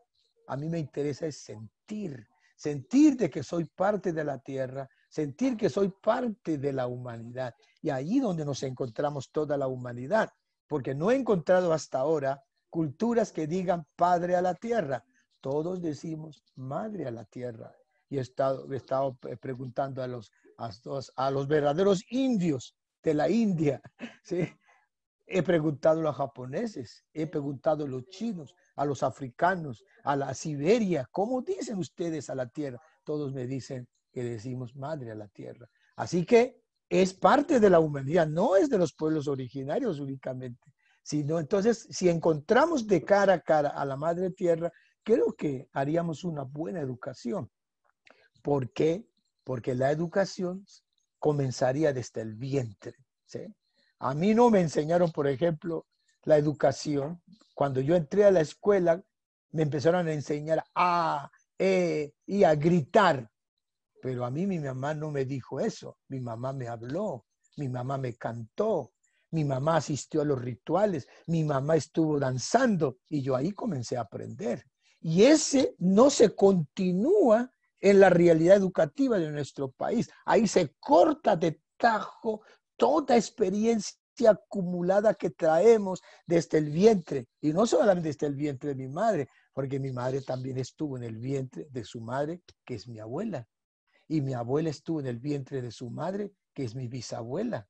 Mi bisabuela estuvo en el vientre de su madre, que es mi tatarabuela. Y así podemos continuar hasta llegar al vientre de la madre. Cuando yo llego al vientre de la madre tierra, me encuentro con el sol, me encuentro con los planetas y digo, uh, ustedes son mis, son mis antepasados, son mis abuelos y abuelas, y nos abrazamos. Esa es la educación que necesitamos. ¿Cómo yo poder tocar las estrellas con mis manos? Yo no debo, yo no necesito demostrar eso. La ciencia me dice, demuéstreme. No, yo no necesito eso. Entonces yo creo que en ese sentido la ciencia ha cometido un desgracia. Hemos conseguido muchas cosas bonitas desde la ciencia, desde el conocimiento, pero ha sido mayor daño a la humanidad. De la, la ciencia como hoy lo tenemos, positivistas, racionales, machistas. ¿ah? Estoy en una facultad de pedagogía, pero la pedagogía es puro machismo. ¿eh? Antropología, lingüística, todo es desde esta ciencia del saber del occidente. Aquí queremos mostrar otro tipo de educación que podría ser desde la maternidad, de reconocernos que en nuestro cuerpo habita lo femenino y lo masculino. Nosotros contamos la parte de la derecha, comenzamos debajo de nuestros pies, uno, dos, tres, hasta el seis aquí, eso es masculino. Y las mujeres empiezan a contar desde la mano izquierda, uno hasta el seis. Y nos encontramos con la columna vertebral donde es la unión de lo femenino y lo masculino, de la maternidad y la, paternidad.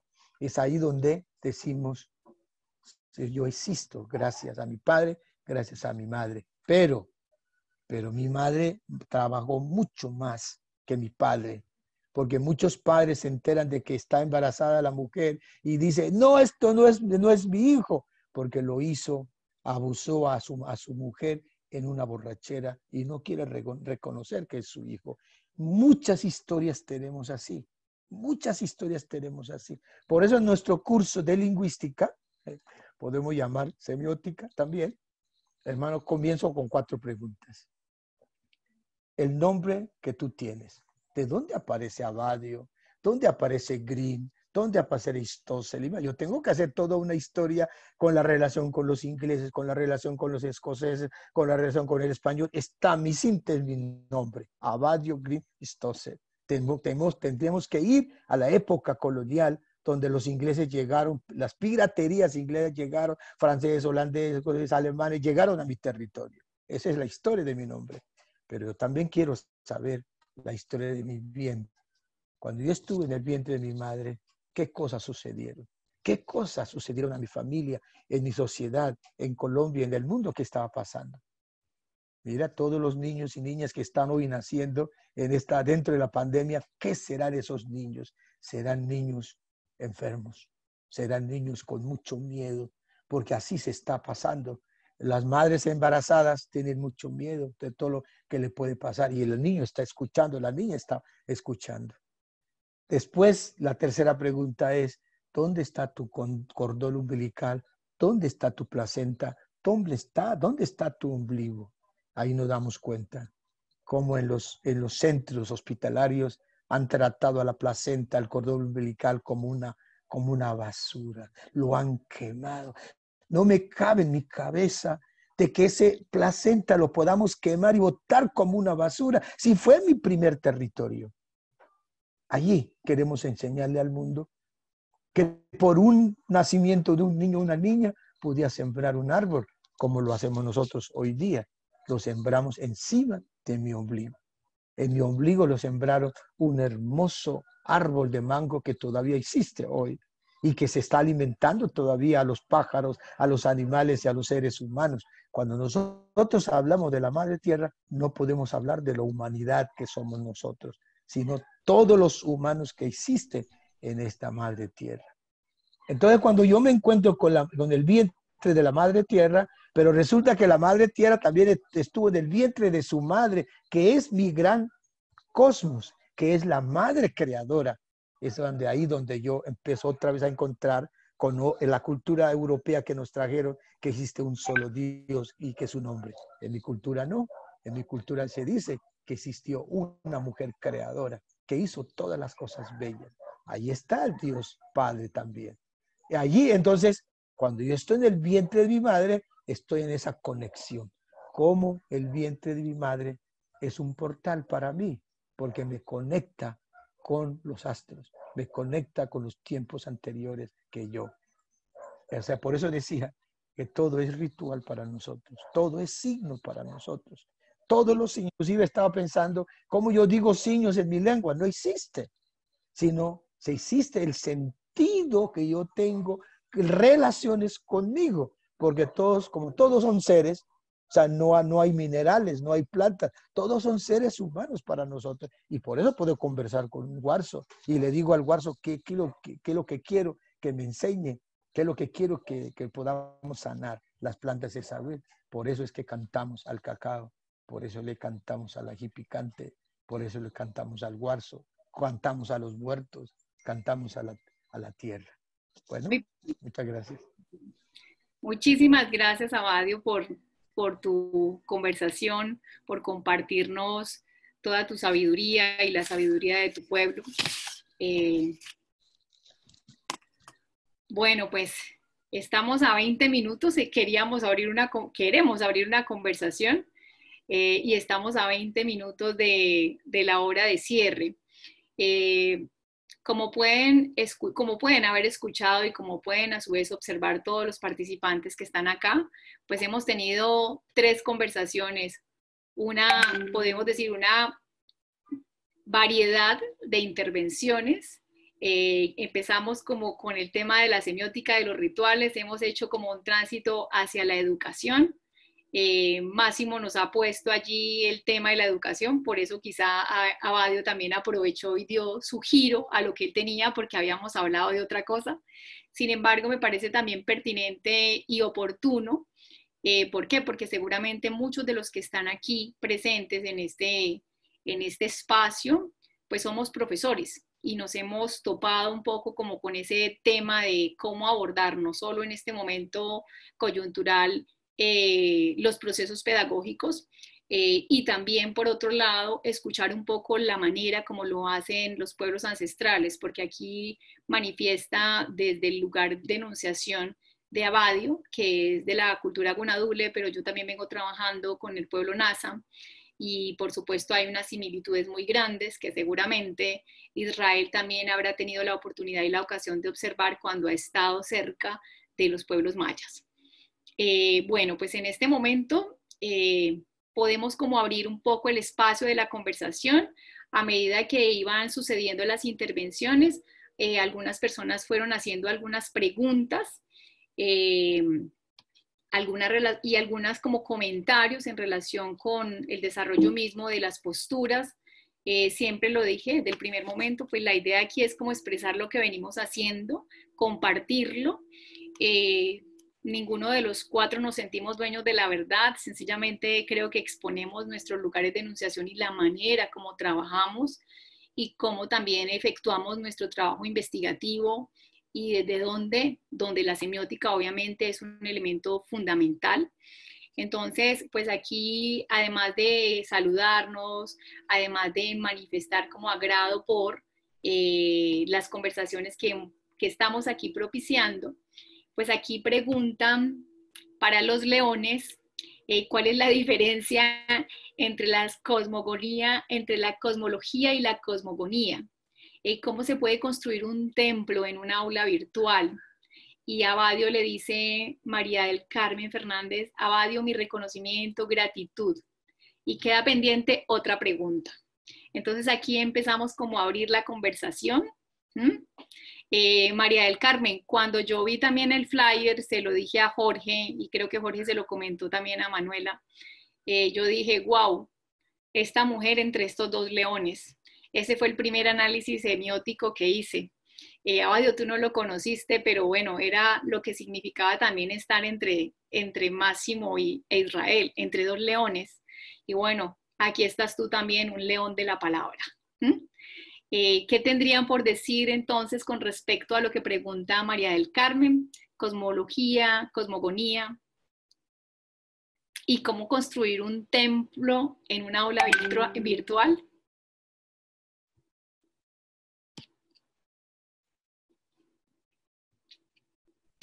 Máximo, si quieres, empieza. Sí, bueno. Eh, desde el punto de vista mm, sencillamente etimológico, eh, la cosmología es un logos sobre el cosmos, o sea, es un discurso sobre eh, el todo del que los seres humanos en una comunidad por lo menos se sienten parte. Y la cosmogonía siempre desde un punto de vista sencillamente etimológico Ehm, es una mm, creencia, un discurso, un eh, relato sobre la creación de este cosmos, o sea, sobre la manera en la que este cosmos, este orden eh, superior se ha mm, generado. Eh, luego podemos oh, jugar con estas etimologías, porque sabemos de Derrida, por lo menos, eh, en adelante que cada cosmología también es una cosmogonía. Eh, ese es el gran relato mítico eh, de, las creencias indígenas cristianas, o sea que al principio hay la palabra, el logos, es el, el, Evangelio de San Juan. ¿Cómo construir un templo? Eh, virtual. Em, el problema, por lo menos en mi opinión, es que los templos no son individuales y, nuestras pantallas, nuestros ordenadores, nuestros espacios en plataformas, e incluso estos pequeños cuadrados que tenemos en, en Zoom ahora, eh, son marcos individuales. Entonces, eh, hay un problema de comunidad y, por eso insisto que, em, por lo menos desde el punto de vista de la, de la historia de la educación ah, en mi, en mi país, en mi sociedad, en mi comunidad, em, mis eh, antepasados, estoy hablando de no cinco generaciones atrás, estoy hablando de dos generaciones atrás, eh, no hubieran podido estudiar, o sea, hubieran sido excluidos de la educación. Em, la educación pública, eh, con eh, todos sus defectos, por lo menos en Italia, ha sido una conquista democrática. Y el peligro el peligro es eh, eh, constatar lo que va a acontecer a este espacio de comunidad democrática eh, cuando se privatice, porque ahora, por ejemplo, nosotros todos estamos utilizando una plataforma privada, señores y señoras. Zoom no es del Estado italiano, eh, hay unos señores que cobran mientras nosotros hablamos. Eh, entonces, eh, hay que ponerse estas preguntas. Y también una pregunta es más chistosa, se voy a concluir ah, porque no, quiero hablar demasiado. A mí me interesa el aula, pero me interesa también lo que se puede hacer para escapar del aula. Entonces, cuando yo era niño, había dos posibilidades para escaparse del aula. una posibilidad era de ir al baño, o sea, se, pedía al profesor, ¿puedo ir al servicio? y era la posibilidad de escaparse eh, al aburrimiento. Y, otra posibilidad era la ventana, eh, que era un espacio quizás poético y, mm, sin embargo, eh, concreto, físico. Y luego ha llegado un señor que quizás no ha creado el virus, pero seguramente nos ha acostumbrado a la idea que las ventanas no son físicas, sino son digitales. Eh, ha creado Windows, eh, ventanas. Y entonces, eh, a partir de esa revolución, los estudiantes han empezado a escaparse de otra manera, ¿no? ha empezado a escaparse dentro de sus pantallas, dentro de sus móviles. Ha empezado a volverse muy difícil lograr la atención de los estudiantes, por ejemplo, los anfiteatros, ¿no? porque al, primer eh, signo de aburrimiento uno se podía escapar eh, en su propio móvil, conectarse con otro lugar.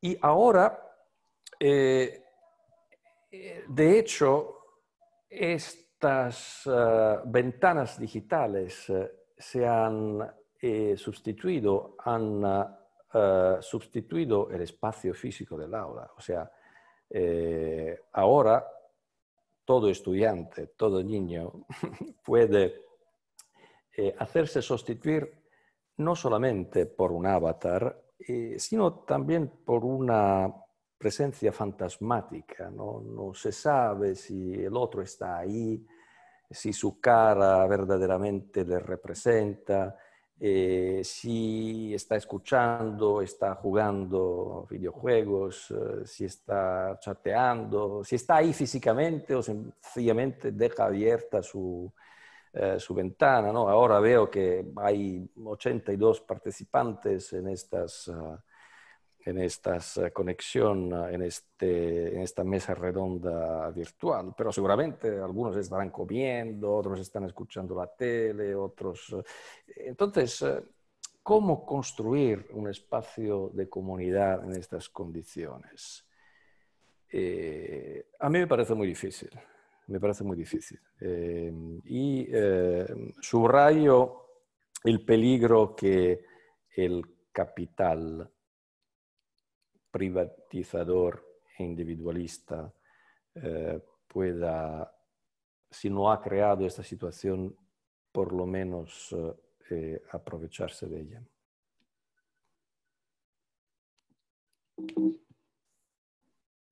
Bien. Israel también quiere intervenir. Sí, rápidamente, nada más. coincido con lo que dice Máximo con respecto al, a la cosmogonía y al tema de ambiente eh, la otra era la cosmología, ¿no? Sin embargo, aquí habría que distinguir en el concepto de cosmovisión, que tiene que ver con la visión que se tiene sobre el cosmos, y que en el concepto que planteo ahí de, en, la definición de López Austin, que me preguntaban por ahí que si era una relectura de Lotman, me parece que es una relectura de una buena cantidad de otras lecturas que hace este Alfredo, pero ahí lo que vale la pena es mencionar que la cuestión religiosa, la creencia y demás aspectos van a estar integrados en la visión del propio universo. ¿sí? Por eso es que, de alguna forma, eh, no quiere decir que a partir de la religión se crea la, visión del cosmos, sino es un todo del que también depende la, propia religión. Y esta idea de generar un, templo en el aula, yo coincido totalmente, ¿no?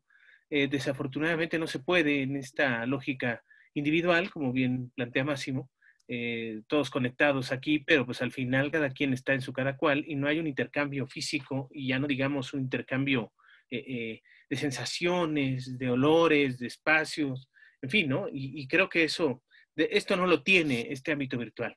Y también ahí coincido perfectamente bien con esta idea de la, de, de la economía detrás de estas plataformas y que pues muchas universidades han estado comprándolas supuestamente para resolver el problema y lo único que está sucediendo es que estamos engordando eh, eh, ciertas, ciertos empresarios, ya sea Microsoft, ya sea Google o yo qué sé, ¿no? Entonces, quien tenga estas plataformas. ¿no?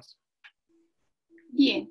Eh, antes de la pregunta que enuncié, había otra, me disculpan porque el, el chat va, va subiendo y entonces no tengo la posibilidad de regresar a la pregunta. Pero em, había una pregunta que me parece también pertinente y me disculpa, se apellida Roldán, eh, la persona que la, que la hizo, porque no la alcancé a, leer antes de la de María del Carmen, pero pregunta desde, la, desde sus perspectivas cuál es la relación de estos rituales, tanto sagrados como cotidianos, eh, y creo algo así como cómo se relaciona un poco con el papel del mito. Eh, esta es una pregunta que elaboran por el chat, pero también el profesor José Enrique Finol eh, también está levantando la mano. Entonces, por favor, respondamos primero a esta, un poco sobre, sobre, las perspectivas de los rituales sagrados y cotidianos, para que después demos la posibilidad y abramos para que el profesor Finol plantee su pregunta o su intervención.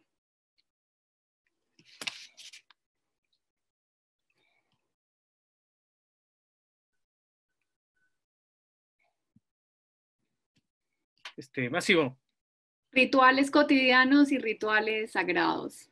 o Abadio también, Abadio lo dijo de una manera muy particular, ¿no? Toda la vida está ritualizada. dejo la, palabra a, quien quiera contestar. Eh, pero bueno, para seguir un poco la, orden. Em, eh, seguramente necesitamos rituales y, y, esta mm, no es una opinión, es un hecho. O sea, todas las sociedades, todas las comunidades eh, tienen rituales y también necesitamos rutinas. Voy a hablar un poco más de, de esta eh, de esa dialéctica, ¿no? Eh, hacer una contraposición entre conceptos es útil en semiótica para explicar eh, los unos y los otros. ¿Por qué necesitamos rutinas? Bueno, necesitamos rutinas porque Peirce, Charles Sanders Peirce, el, el, fundador de la semiótica anglófona, lo ha explicado muy bien. no podemos siempre seguir el brote de la semiosis. Eh, tenemos eh, que eh, formar y seguir también unos hábitos interpretativos. No somos máquinas cognitivas limitadas, entonces tenemos que coagular unos sentidos, cristalizarlos.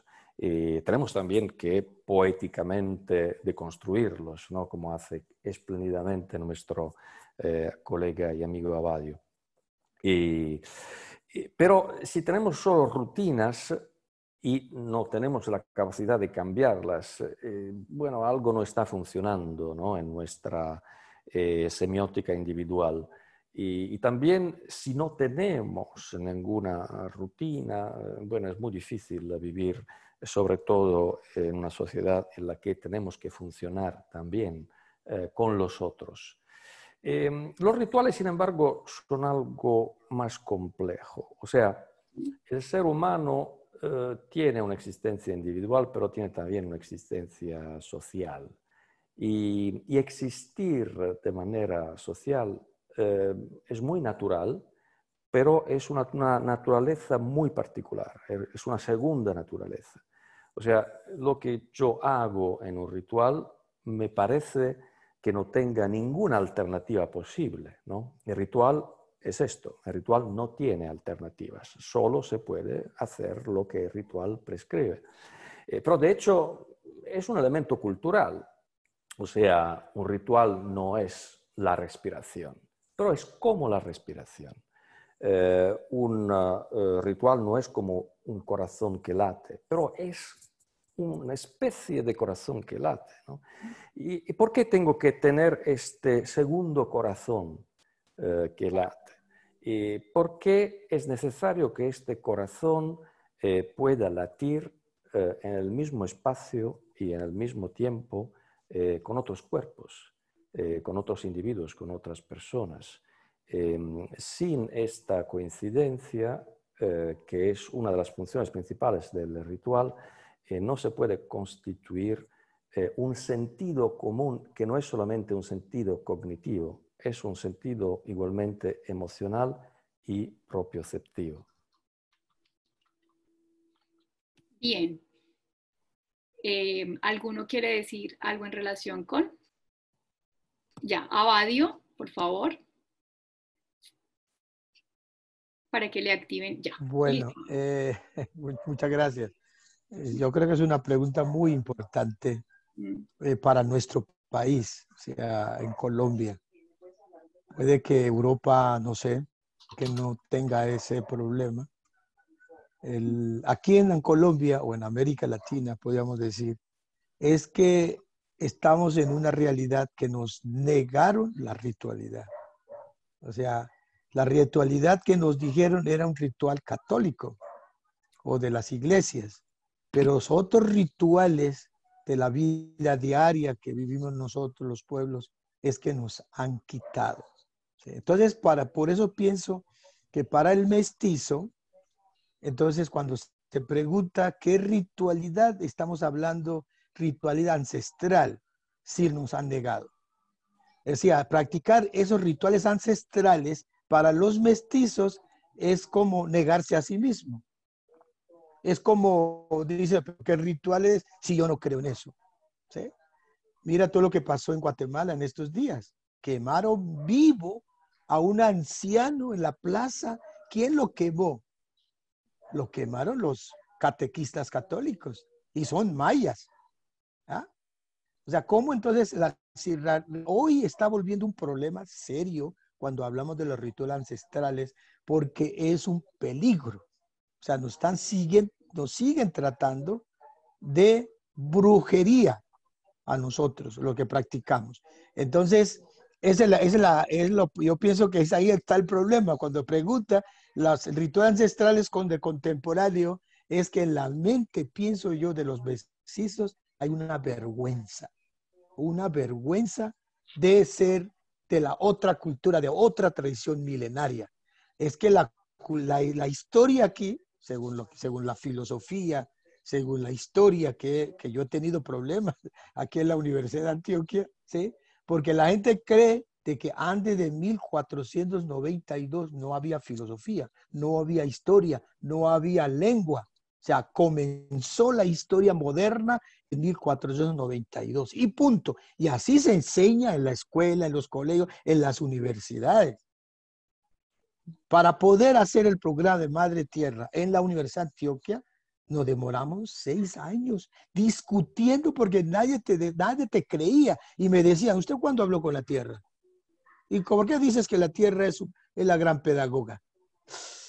Porque lo que me querían demostrar, demuéstrame cuándo has hablado con la Madre Tierra muy difícil.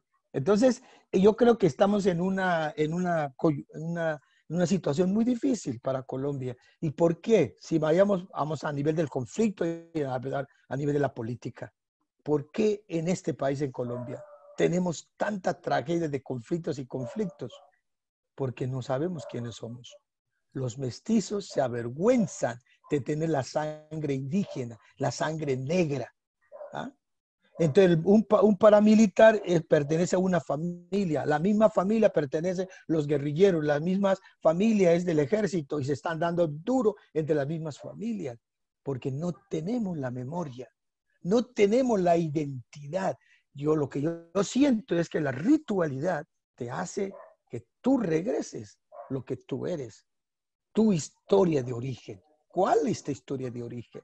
Entonces, eso es lo que yo siento. Es una pregunta muy interesante, pero también es una pregunta que los mestizos, los que no son indígenas, tienen que decir que cuál es mi ritual ancestral. Puede ser que sea católico, es ancestral, pero no dan cuenta que fuera de eso también existen otros rituales muy diferentes. Bueno, gracias. Eh, vamos a dar entonces, eh, vamos a abrir micrófono para que el profesor Jorge, José, perdón, José Enrique Pinol, de, que tuve la ocasión de conocerlo en, en Zacatecas eh, y es de Venezuela, pueda realizar su pregunta. Bienvenido, profesor Finol.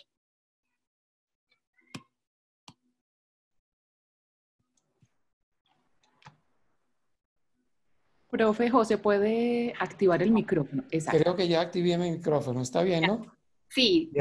Bueno, he estado maravillado de escuchar estas intervenciones tan extraordinarias. Miren, esta frase de Abadio, la ritualidad está en mi cuerpo, eh, me capturó y me tiene emocionado desde el, desde el principio, ¿no?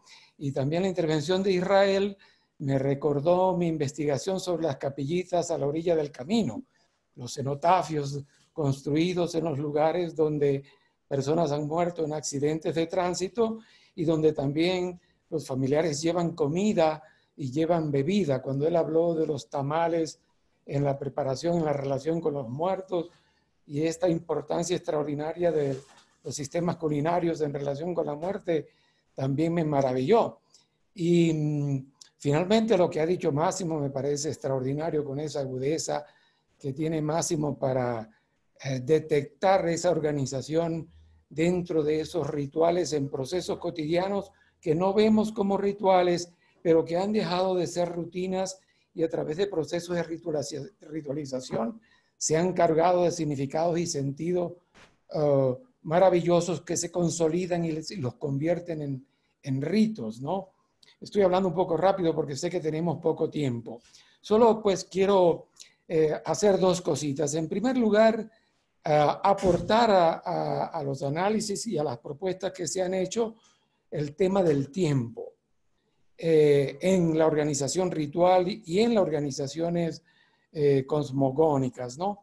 Y pensando en esta problemática del tiempo, me acuerdo de esta cita de San Agustín que decía, cito, te confieso, Señor, que hasta ahora no sé qué es el tiempo, pero confieso, Señor, también otra cosa, sé que digo esto en el tiempo, pero de qué manera lo sé y qué es el tiempo, no sé.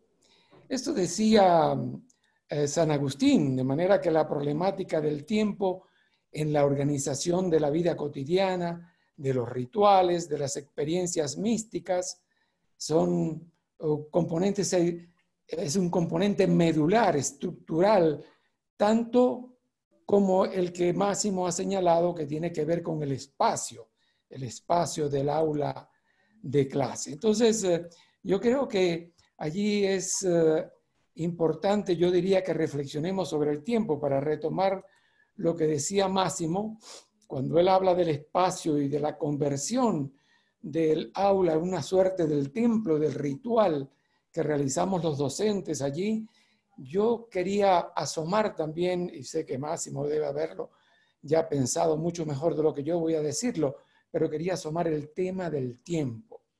Por ejemplo, uno puede señalar en el aula de clase los tiempos que tienen que ver con el tiempo de la enseñanza, con el receso de la clase, con las vacaciones, etc.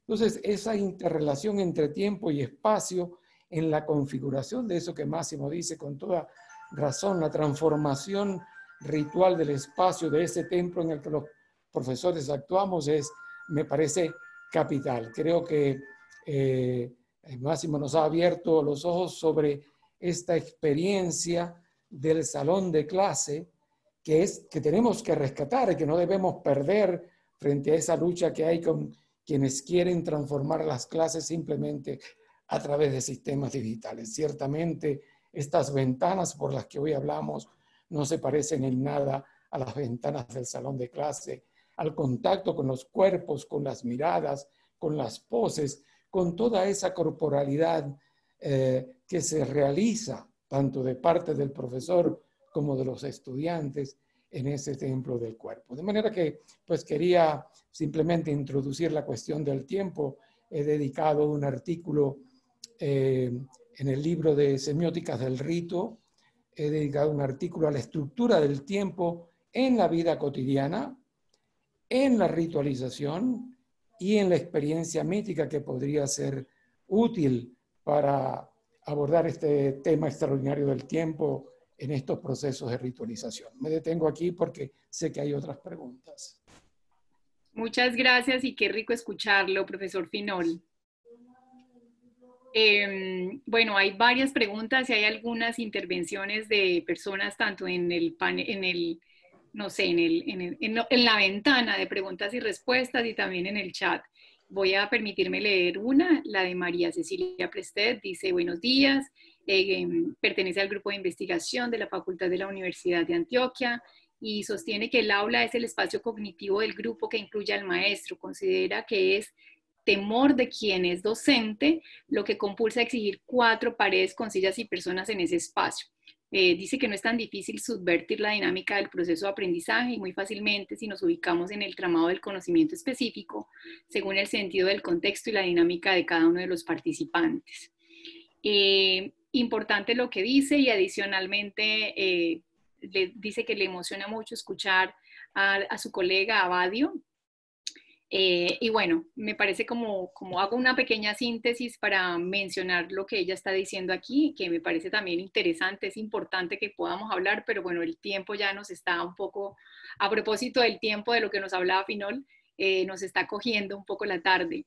Eh, hay otro profesor, hay otro profesor o un estudiante de doctorado, perdón, de la Universidad de Barranquilla, también quiere interactuar con Israel. No sé si alcanzamos como no puedo volver a subir del chat, em, me gustaría que la persona hiciera de nuevo, me pusiera de nuevo la, pregunta porque no la puedo leer, parte de los asuntos de la plataforma, pero dice que es estudiante de, doctorado en Barranquilla y que está haciendo una investigación sobre el festival. Entonces, eh, la pregunta está en relación con los rituales. Eh, por favor, si puedes volverme a poner la pregunta para poderla leer, porque no la puedo, no la puedo leer esto es parte de las tecnologías y parte de los asuntos que nos está demandando estas nuevas, estas nuevas aulas de clase. Eh, mientras me aparece de nuevo la pregunta, quería eh, también recordarles a los que están todavía aquí eh, y que están también interesados en, la, en, en, el tema de la semiótica de la educación, que hace ocho días se realizó em, la conversación sobre semiótica de la, educación. Creo que fue también bastante interesante, bastante importante. Em, hubo una, una postura allí a propósito incluso de la, de la educación multimodal que valdría la pena que las personas pudieran, los que no pudieron verlo, pudieran eh, observarlo el conversatorio, me dicen eh, los de las personas de logística, que va a quedar subido, grabado y subido en el Facebook de la Facultad de Educación de la Universidad de Antioquia. Entonces, como para que tengan la ocasión de poder eh, también eh, escuchar y ver, al menos ya no en directo, pero sí en diferido, el conversatorio de la semana pasada. Entonces, la pregunta que dice es, usted afirma que la presibilidad implícita, ¿qué pasa cuando se rompe el ritual? ¿Se rompe la simbología? Esta es una pregunta basada en el ritual de carnaval de Barranquilla.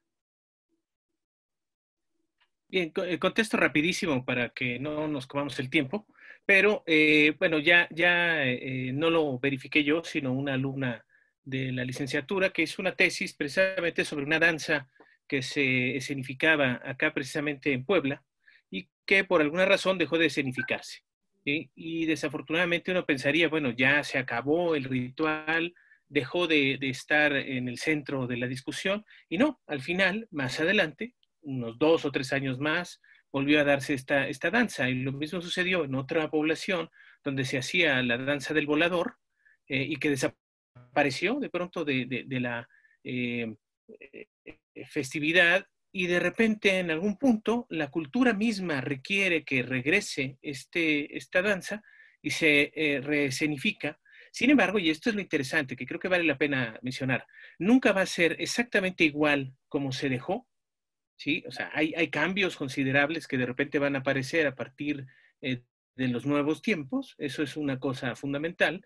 Y por otro lado, uno podría pensar, bueno, es que se está haciendo de manera terrible, ¿no? No era como antes se hacía. Por ejemplo, en la danza esta del volador, de repente a alguno de los danzantes se le ocurrió ponerse lentes oscuros para que no le molestara el sol, ¿no? Entonces habrá gente que diga, oye, eso ya es una apropiación eh, eh, norteamericana de... No, simplemente la cultura está asumiendo nuevos símbolos dentro de la representación que llevan y ya se, continúa. Un ejemplo que le doy mucho a mis alumnos es, eh, aquí tenemos parte del carnaval, se dan estas danzas de moros contra cristianos, y de repente eh, nos tocó ver en una del, en San Baltasar Campeche, que es un barrio cerca de aquí de la ciudad de Puebla, nos tocó ver eh, en esta danza que estaban danzando moros y cristianos, y de repente vemos a Batman y a Robin, digo Batman y el Guasón, danzando, los buenos y los malos, ¿no? Al final de cuentas, se sigue escenificando el ritual, nada más que con otros códigos. Y justamente esto es lo que pasa, sobre todo en el, sentido del ritual, con las comunidades mayas. eh, han ido adoptando nuevas eh, lógicas. Por ejemplo, se escribía en códices, después se va a escribir en caracteres latinos, libros que ellos van a conservar guardados con su memoria. Entonces, hay una voluntad escrituraria que simplemente cambia de formato, ¿no? Entonces, me parece a mí que, que esto, que no se preocupe porque nos dice este, este estudiante del doctorado que por la pandemia, pues este, el carnaval de, Barranquilla dejará de hacerse. Yo creo que no se va a dejar de hacer. Al contrario, esto va a revitalizar de forma importante esa festividad y como muchas otras cosas más, precisamente por lo que está diciendo Máximo, por esta falta de, eh, contacto. Si por eso se ha incrementado el COVID, precisamente porque la gente ya no aguanta estar en casa y se sale. Y entonces, obviamente, esto está produciendo que, haya nuevos brotes. ¿Por qué? Pues porque necesitamos contacto. Entonces, yo no creo que vaya a pasar nada, al contrario, que es un fenómeno interesante. A lo mejor sí le está partiendo de cabeza la tesis, pero, pero eh, hay que aprovechar también esta coyuntura. Eso va a ser fundamental y ver qué cosa va a traer eh, eh, de, nueva cuenta este, este ritual que, a lo mejor desaparece, ¿no? Eh, si quiere, eh, mi contacto está en Facebook, me puede encontrar como Israel eh, Boap León O'Farrill, y pues ahí si quiere comentamos después y le puedo platicar algunos antecedentes y otras ideas. Bueno, pues en aras del tiempo y en aras de que yo ya también debo entrar ahora a mi aula de clase, y me imagino que los demás también tendrán que continuar con sus actividades, pues debemos cerrar. quiero conceder la palabra a a Neila, a la doctora Neila Pardo, no sin antes decirle a todos los, a mis compañeros de mesa, de pantalla, a los participantes y a todas las personas que estuvieron acompañándonos hasta este momento, que muchísimas gracias. Eh, Claudia Liliana, disculpas, no pudimos abrir el micrófono, ya te estoy diciendo que en aras del tiempo, que lo trajo aquí también a la mesa el profesor Finol, pues debemos cerrar. Eh, pero pues la idea es que tengamos ojalá, Neila, eh, ojalá organizadores otros espacios para que podamos darle continuidad a este tipo de conversaciones que no siempre son tan viables en los diferentes escenarios académicos. Pues, muchísimas gracias a um, Israel, muchísimas gracias a Máximo, muchísimas gracias a Badio. Los abrazo con el corazón y Neila, entonces te concedo la, la palabra final. Eh, muchas gracias, Mónica. En realidad es el momento de cerrar este espacio hoy. Mil gracias por su presencia y participación a todos, a mis amigos, a mis colegas, para todos un gran abrazo. Resalto la presencia hoy de nuestro presidente de la IAS, doctor Paul Colby, del profesor Wasif, de Agustina Dapar, de, de John Rednick, de Karina Abdala, de Sarmanta Vicele, del profesor Pan de la China, entre otras personas a quienes no logré completamente detectar. Para ellos, además de mi agradecimiento, les recuerdo que tenemos sala en inglés para que puedan tener una mayor comodidad y puedan tener también un mejor, una mejor comprensión de nuestros espacios de eh, formación, de aprendizaje y de eh, encuentros para compartir ideas. Quiero también expresar eh, mi reconocimiento con profunda gratitud a los conferencistas del día de hoy. A todos mil gracias por sus intervenciones. De manera muy, muy especial, nuestro afecto al doctor eh, Máximo Leone, a todos los miembros de la mesa y mostrarles nuestra eh, eh, interés, nuestro interés por, esta, por estas magníficas reflexiones. Yo creo que estamos en este momento entrando en un punto de la semiótica muy importante para el mundo de hoy. estamos en una coyuntura en la que se hace necesario que todos retejamos los signos de, nuestros, de nuestras espaciotemporalidades y nuestros rituales rescatados desde nuestros ancestros, desde nuestros momentos más actuales y pensando en un futuro, tendrán que posiblemente transformarse en busca de construirnos como seres más humanos, más autónomos. y posiblemente más libres.